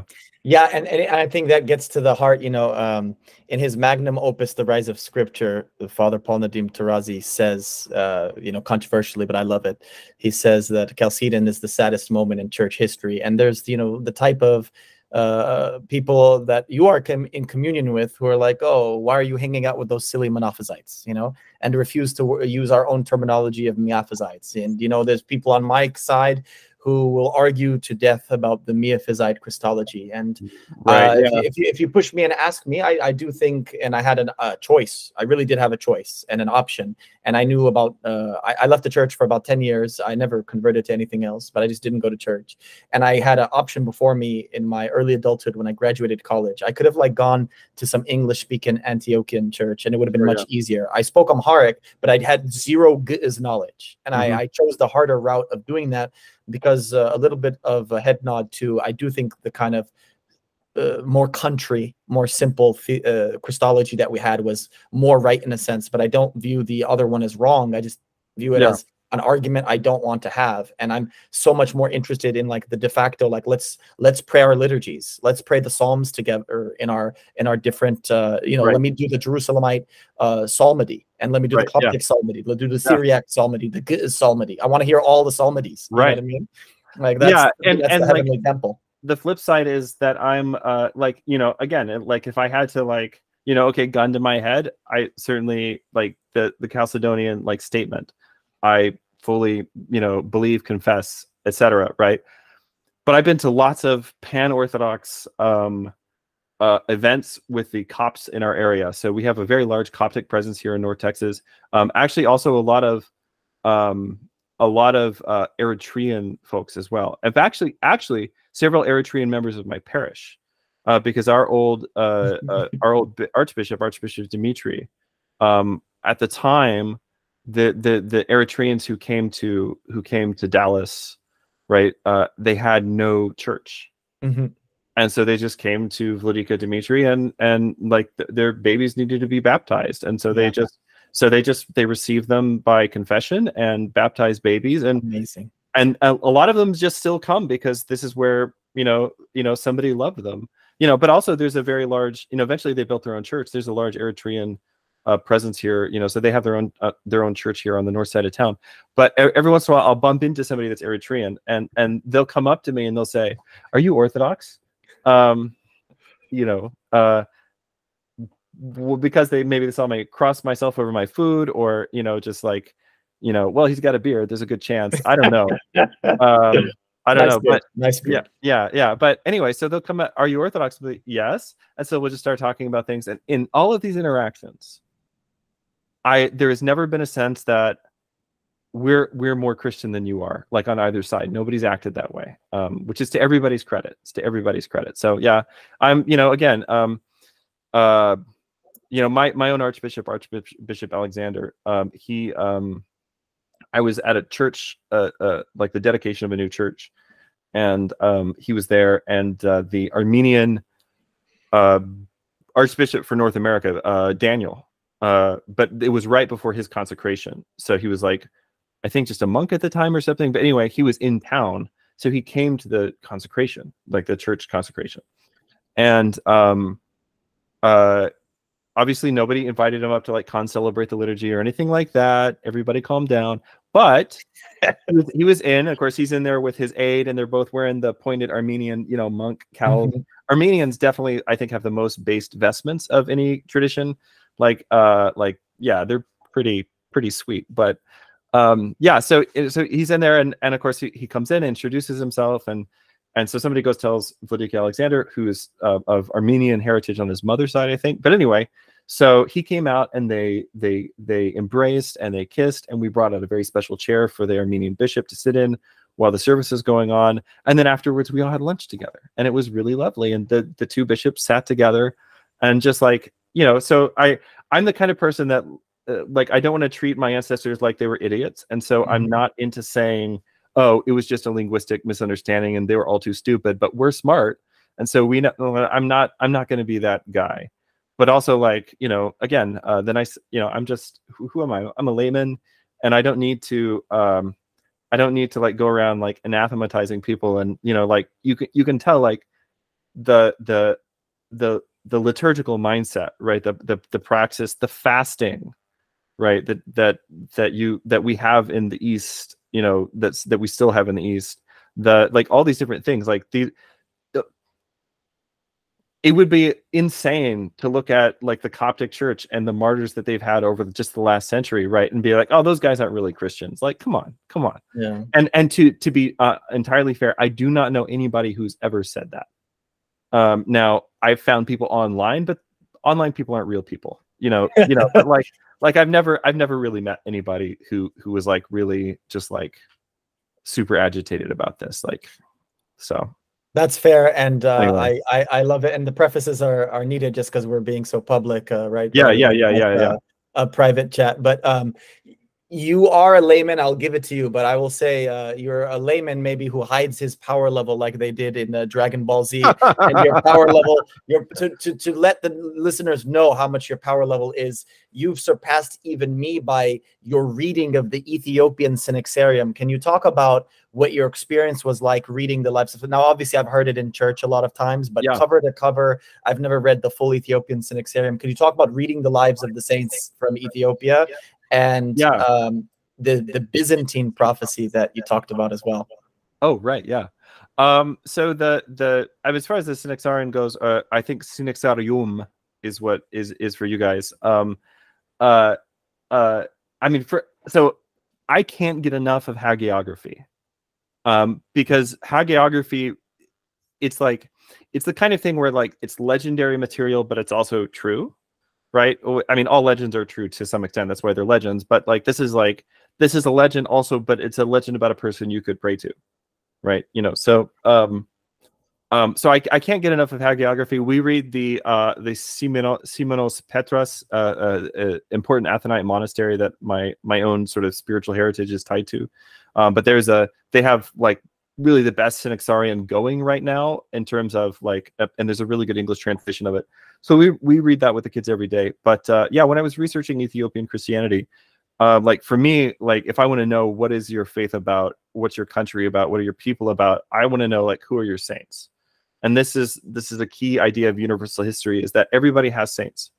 Even Protestants have saints, right? They don't call them saints, but everybody has saints. Like you can't get away from the idea that there's hierarchy and veneration. This is just the way that the world lays itself out. And so, um, so yeah, um, reading through it. I mean, it's been a couple of years now since I undertook the project, but uh, I was just um, really struck by something that I've noticed in the sort of like North African Christianity and then in Irish Christianity. And there are people, by the way. This is one of the things I thought about saying a minute ago, but I forgot there are people who who try to draw some lines between uh, like Celtic Christianity, like uh, uh, Hibernic Christianity, and then Coptic Christianity.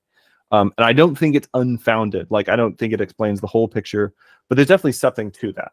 Um, and uh, so something that I kind of noticed about both of those strains of Christianity, like reading the lives of the Irish and Welsh Welsh saints, um, there's there's basically a period in the history of of the church in what is now like the British Isles, uh, that that you could have just referred to it as the Irish Church because because all of the Christianity in that part of the world was basically just an Irish mission.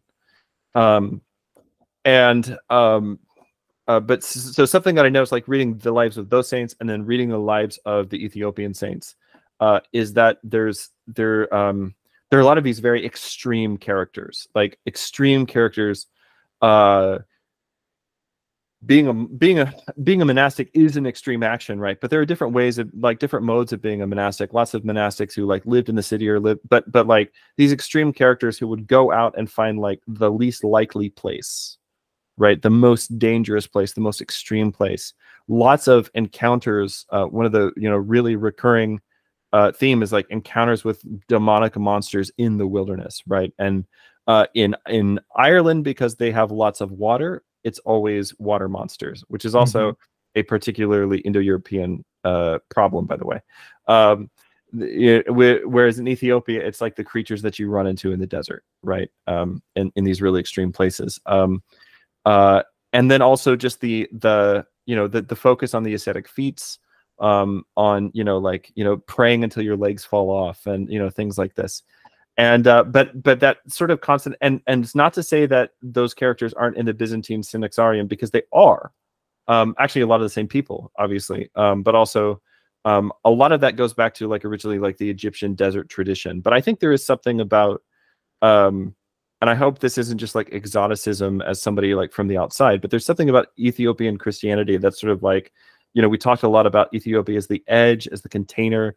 I like the the the I like the um the the idea of the nest, right? The the nest a nest is something that's made of like leftover parts of all these things. You talked about Ethiopia being kind of a mutt Mm-hmm. You know, it, a nest is something that's made of leftover parts of all of these things, but it actually becomes a container for life, right? And to me, that's kind of what Ethiopian Christianity is, um, and like all of your connection to uh, ancient, ancient Judaism, and um, you know, there's you know almost certainly like a whole extra kind of Judaism in Ethiopia that's parallel what's happening in Palestine, you know, during the the Iron Age, right? Um, but your connection to ancient ancient Judaism, your connection to the Ark of the Covenant, all that stuff, I think is all kind of part of that picture. And that's to me, that's why I love it so much. Like it's like because it kind of collects all these things. And again, that's why we started there, is because it's a um, it's just a crazy place to begin look at universal history because it's like here's a thing it's beyond the Roman Empire, and it's kind of literally, you know, in the scriptures, it's the end of the world right? So it's the end of the world, and this is where all these things collect, but it's like really important things. And so again, to me, this is it's just a really important witness to the character of ancient apostolic, the ancient apostolic faith. Yeah, I want to thank you so much for that series. As I can tell you this as an ordained minister in the Ethiopian church, that I will thank you on behalf of our church. I'm the type of person I, I was telling you earlier through kind of direct message that I'm a, a wabi sabi believer, this Japanese concept, yeah. surprise, surprise. Like I believe in the imperfection. I don't mind if you got some things sloppily wrong. Frankly, there are a lot of our people who get things sloppily wrong. Yeah. Like I, I don't want to talk about it here, but I've been on other like Catholic shows and other Orthodox shows where people love asking me about the Immaculate Conception. I could tell you it's for me like the least interesting subject ever. Um, we, we, we, we were poking fun at some of the tricky Anglicans earlier, but they're some of my favorite people ever in history were Anglicans. C.S. Sure, Lewis, yeah. when we mentioned, is Anglican. Yeah. N.T. Wright is still alive and amazing, and I, have learned so much from him. He's Anglican. Uh, the premier Syriac scholar in the world, Sebastian Brack, uh, right. Brock, is Anglican. Right. Yeah. The premier Ethiopianist in the world. He just passed away a couple years ago. He ended his life as an Ethiopian Orthodox Christian and was given full funerary rites in our church. Richard Pankhurst, though, was like by far the, the clear, the clear Ethiopianist, and he grew up, uh, you know, Anglican. So uh, I'm, I'm mostly know, just disappointed that you're getting questions about the Immaculate Conception rather than like Jacob Marley or Bob Bob Marley, Jacob Marley yeah. Scrooge, Bob Marley. Yeah. Like I would have expected that would be the thing you get all the questions about. I would much rather talk about Bob Marley because then I get to talk about Abuna Isaac, who was his uh, the one who baptized him and thousands yeah. of other Caribbeans. And Abuna Isaac brought into the priesthood uh, my father confessor, Father Thomas Finley, who uh, grew up Catholic and Baptist, mm. was a unordained reader in the Russian Orthodox Church of Dallas for 30 years, I believe, mm. under Archbishop Dimitri. I could get that name wrong. And then uh, when he just yeah, that's the um, that's the uh, that's that's the founder of our diocese. Yeah. Yeah, so he was an un- unordained reader mm. for 30 years on his way to being a monastic until he ran into this taxi driving married Ethiopian priest who convinced him to to come on over after some wow. Ethiopian wow, wow, wow, wow. uh, uh, and not that again he ever hates the Russian tradition, and I hate sure, even yeah. like talking about that as conversion. Like it's really like you know confession and chrismation is what people yeah. um, uh, normally do when they're when they're switching yeah, yeah, um, yeah, yeah. back and forth in those things. But yeah, I want to thank you on behalf of that. I I enjoy that, and and like I said, like our own side is kind of sloppy how they present it. I like to consider myself the kind of uh, greatest English language Sherpa, even if I don't know the most. I'm the greatest English language Sherpa or or tour guide of our of our tradition. I love it. A lot, of, a lot of other people kind of misrepresent us, so I'm I absolutely want to shower you in in gratitude for doing that. And um, one of the things that has happened, I don't want to get you to to be the geopolitical commentator, but in the I know the war impacts uh, the Orthodox Church, obviously between yeah. Russia and the Ukraine. And very, the, in, in a very personal way for a lot of people in our parish uh, many of the people in our parish were uh, refugees, like from the KGB, wow. KGB, and that's that's why there's that mostly Ukrainians and some Russians that that started that parish in Dallas where I attend now. So like so Amazing. the whole, everything happening is i mean it's very complex but it's very it's raw for a lot of us yeah but part of that kind of an adjacent part of that conversation I've seen, and this gets to the Byzantine prophecy that you guys talked about as yeah. well, is this question of who is the heir or the successor to Rome. Oh, sure, we see yeah. this movement from uh, Western Europe to West Asia and to Eastern Europe meeting, right, with Byzantium. And then from there, it's like people, there are people who say Moscow and people who are seeking it. And, you know, even some people are like, you know, let's take back uh, Hagia Sophia with the Russians, you know, yeah, like there, yeah, there, there, there's that kind of uh, narrative out there. But you guys kind of talk about this Byzantine prophecy, which maybe counterintuitively, like there's this Afro-Asiatic or Black Rome a little south. Yeah, so there's this um, there's this prophecy. This is in the uh, the Apocalypse of Pseudo Methodius, which is written a little bit after Chalcedon, but like st- when it's still pretty fresh on everybody's mind. And uh, but it's it's kind of written in response to like the Arab invasion of of the Levant, basically. But um, in this prophecy, um, uh, there's basically this this uh, this idea that um, there there's a like a sort of like a secret son of the Roman emperor or something like that that's sent away, um, and that this union happens at Chalcedon, um, and that son is sort of sent away into Ethiopia, and the, it's the idea that at the end of time, the last Roman emperor will come out of Ethiopia, and there will be like this final restoration of Christianity uh, that will immediately precursor the coming of the Antichrist, and then the the last Roman emperor will uh, basically uh, uh, he'll give up the kingdom to God. The, the the the the true cross will ascend back into heaven, and then uh, Christ will return to defeat the Antichrist. And this is beautiful kind of a prophecy, but kind of wrapped up all, in all of that is this sort of hope of reconciliation of Christianity, of this you know the schism that started at, Cal- at Chalcedon that it that it's gonna that'll also be the place where it comes back together in some way. Um, so yeah, it's so that's the uh, we, we did like a whole video about this and about the whole the whole idea of like the return of the king, which most cultures have this, you know, like uh, pretty much every culture has like a semi mythic emperor or king or like figure who's going to come back right at the end of time and rout rout our enemies. So yeah, there's one. Yeah, there's one. Um, there's a famous emperor Theodore of Abyssinia, and yep. um, uh, we we have we have the Greeks have the marble emperor, and the uh, the you know the Danes have um, uh, um, uh, um, what's his name Harold of Norway, and the the English have King Arthur, and, and so on. So yeah. Yeah, and there's there are current Ethiopian well prophecies. Yeah, there are current Ethiopian prophecies that there will be another Theodore of Abyssinia, and some of the the more uh, let's say strict preachers are very against it, but like the people, because uh, we've been facing kind of 50 years of decline because of communism and yeah. uh, being a federal democracy, which is just being a lapdog of the American, uh, you know, yeah. empire. And there's a whole civil war going on right now. Yes, it's it, it, it, the hot yeah. war ended, and uh, now it's kind of a, a, cold war, and the sides have switched a few times. It's all very confusing. I, I uh, had a very hard time following it as an outsider. I'm like, I don't really know what's going on at this point. Yeah, um, there's a lot going on there. Originally, the it was kind of uh, um, all of Ethiopia versus the separatist Tigray, but now uh, after 600,000 lives lost, uh, which uh, you know some people make comparisons to how much spotlight this gets gets versus the the hot war in Europe uh, in yep. terms of just sheer lives, if if magnitude is is one of your values. And uh, now sides have kind of switched where the kind of Tigrayan leadership is now with the the main PM who comes from a Oromo background, and they, they seem to be posturing against the Amhara. It's all very uh, strange. The Eritrean leader, who's very much involved, just had a four-day, like unheard of uh, prior to this, four-day meeting with uh, Vladimir Putin and with uh, President Xi as well and it's funny because there are pictures of like when when Putin meets with like other leaders, they have this super long table. Yep. When he met with the Eritrean leader, they were like right next to each other. Yeah. And uh, they even uh, took him. You know, they say he he might not be a believer, the Eritrean president, but they they took him into the giant Russian military cathedral, if you know it, and he yep. him along with other Eritreans who are very obviously at least culturally orthodox, were like doing like a uh, tours of the icons and of the cathedral. So very very kind of uh, funny uh, orthodox.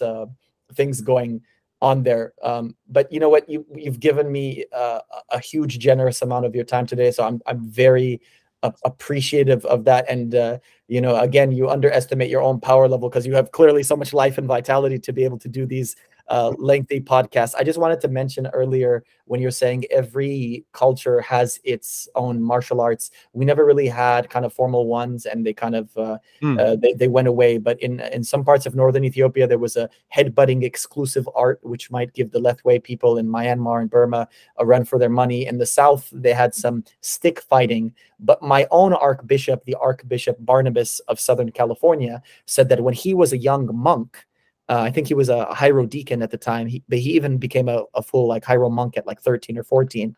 Him and the the monk boys in this kind of exclusive male environment used to play a game they called the teloch, which is who could make who fall. So they didn't do any ground grappling, but he he showed me and he actually like grabbed me and showed me because he saw me in my jujitsu uniform. Oh like, yeah, visiting church. He's like, oh, I used to do that too, and he's like showing me like how they had underhooks and overhooks and they yeah. used to try to get people to uh, to fall to the ground. So I wanted to give you an opportunity um, if you wanted to to plug your MMA rule set and then to plug yes.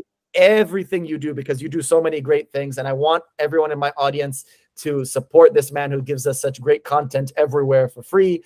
Uh, so tell them everywhere they can follow you, support you, and then any MMA rule set. So uh, if so, the Kickstarter is over, but if you go to strangeowlgames.com, um, there is a Patreon you can subscribe to if you want to just read poetry that I write and languages that I invent and fantasy stories that I write and tabletop RPG adventures.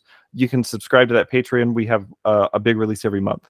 So that's the best way. Like if you want to follow my stuff and also get notified when uh, when the book will be when, when the the books will be available. They'll be available pretty much like in any bookstore, uh, hopefully. So um, uh, you can follow me on Twitter at Richard Rohlin. Um, and uh, uh, uh, I do have a short book of like poetry and fantasy uh, stuff, which is more like legendary myths and such. Here's a paperback version of it right here. Um, you can't see it, but my office is just piles of books all the way around. Um, uh, this is called the Akborida. This is set in the same fantasy world that the role playing game is coming out in. You can get this at darklybrightpress.com. Um, and I think there's uh, it's sold out a couple of times now, but there's a few more copies if people want to check that out. Um, I don't know what else. Um, there's I do have a YouTube channel. It's just Richard Rohlin on YouTube, uh, where I'm mostly doing uh, fantasy gaming stuff right now. So if people want to want to follow me there, they can. And uh, as far as MMA rule sets go, I think that almost all the problems that we're experiencing in the UFC right now would be solved if we just went to the Pride format. So Pride rules, which would mean that Aljamain Sterling, who fair play to him. He's playing the rule set that he has. He's a fantastic martial artist. But like this whole like stalling with a hand on the floor so nobody can kick me in the face, that's dumb. And uh, if you brought back the if if we switched to the pride rules, that would fix that. The other thing pride would fix, people don't always know this, but uh, pride uh, prioritized finishes by doing a 10 minute round. So you had one 10 minute round to try to get a finish in. And then if you nobody got finished in that first 10 minute round, then they would start going to successive five minute rounds. And if you do this, you don't even need judges because you can just do five minute rounds until somebody falls over, right? Um, and then Pride also had yellow cards, which is basically if somebody was stalling a bunch, the ref could flag them with a yellow card, which mean they would lose like a certain percentage of their purse. Um, and so this is a way of keeping fights fun, uh, exciting, fast moving, but also prioritizing finishes. And holy cow, if you go back and watch some of those old Pride fights, I was a huge Fedor fan. I'm still a huge Fedor fan. Like um the like the just like the number of finishes and the the like the nonstop action um and also the walkouts were just so much better. so much better. So anyway, that's my that's my my my pitch for. I like the UFC, but they should switch to a Pride round format and would solve a lot of the and, and then also Pride rules and I think it would solve a lot of the problems that we have right now. So. I absolutely agree with all the points you said. I'll point out that Rizin today, which is kind of a yes. successor to Pride, does have those length. And my former uh, teacher, Kron Gracie, his some of his frustrations in the UFC are the five minute rounds, whereas Rizin he was fighting uh, ten minute rounds. I know he's fighting better guys as well, but that's yeah. a lot of people talk smack about him online. I think that's part of he had a dynamic. rough, he had a rough go this last his last outing. He did. It's it you know what it's it's the gloves, the wraps, and the round lengths, I would say. But another thing that they do is they don't just narrowly uh, have this weird like boxing system that they that maybe even boxers shouldn't have that they adopted where you you count up all the rounds as like yeah, separate yeah. siloed entities as opposed to looking at it in a universal way, the way that you do as a totality. The funny thing is that it's really like three fights. Yes, you're fighting three fights and yeah. then like doing best two out of three basically that's which is exactly. which is a little is a little weird to me and then also like the other thing that really irritates me with the current round format is that you can have somebody who's knocking somebody else's block off for four and a half minutes and yes. then in the last 30 seconds the other guy gets on top and he's in a dominant position and he's threatening a submission well who won that round well if you're yeah. going by time it was the guy that was dominating the cage but who was who was winning at the end of the fight right that's because exactly. that's only the moment that's the that's the only moment that really matters. So anyway, that's the quintessential fight for me is a, and like you said, I'll do props to him using the current uh, rule set. I won't yeah. you know argue otherwise. I'm arguing about normative, not descriptive right. stuff. Leon Edwards, the current uh, champ at 170, right. on his way up, fought Gunnar Nelson, and Gunnar Nelson in the in the past like in the last minute of their final round absolutely outclassed him. He had him a mount and was wailing on him. Yep. But Leon Edwards was literally just wrapping him up in double underhooks from yep. the bottom of mount and holding on for his dear life and right. somehow gets to continue on which is well, absolutely unreal uh, but also ridiculous. like the first the first uh Petr Yan aljamain sterling fight another good example of like yes. somebody is clearly winning and then because of like this stupid rule because he, Sterling had one hand on the yeah. ground. You know, he so. baited him. He clearly, to me, he clearly baited him, and he did it. Our, he did it in his Cejudo fight too. Like he kept yeah, like. I like, saw that. Yeah, I yeah. saw him betting, and and for us who love words, it was amazing to see the retired uh, Khabib Nurmagomedov from the audience giving us live language interpretation, and then the, the people heard him say that because he's like a famous fighter, and they realized that the like he actually turned to his coach and was like, "Yo, can I hit him in the face?" And the coach was like, "Yeah, hit him in the face." Yep, and that's how he got uh, in trouble and ended it. But yeah, I absolutely want to say, Danke, Richard. Thank you so much for doing the program. Well, thanks for having me. And uh, this will be one for the books, dude. Like it's like a three-hour conversation. Should keep people busy for a couple of weeks.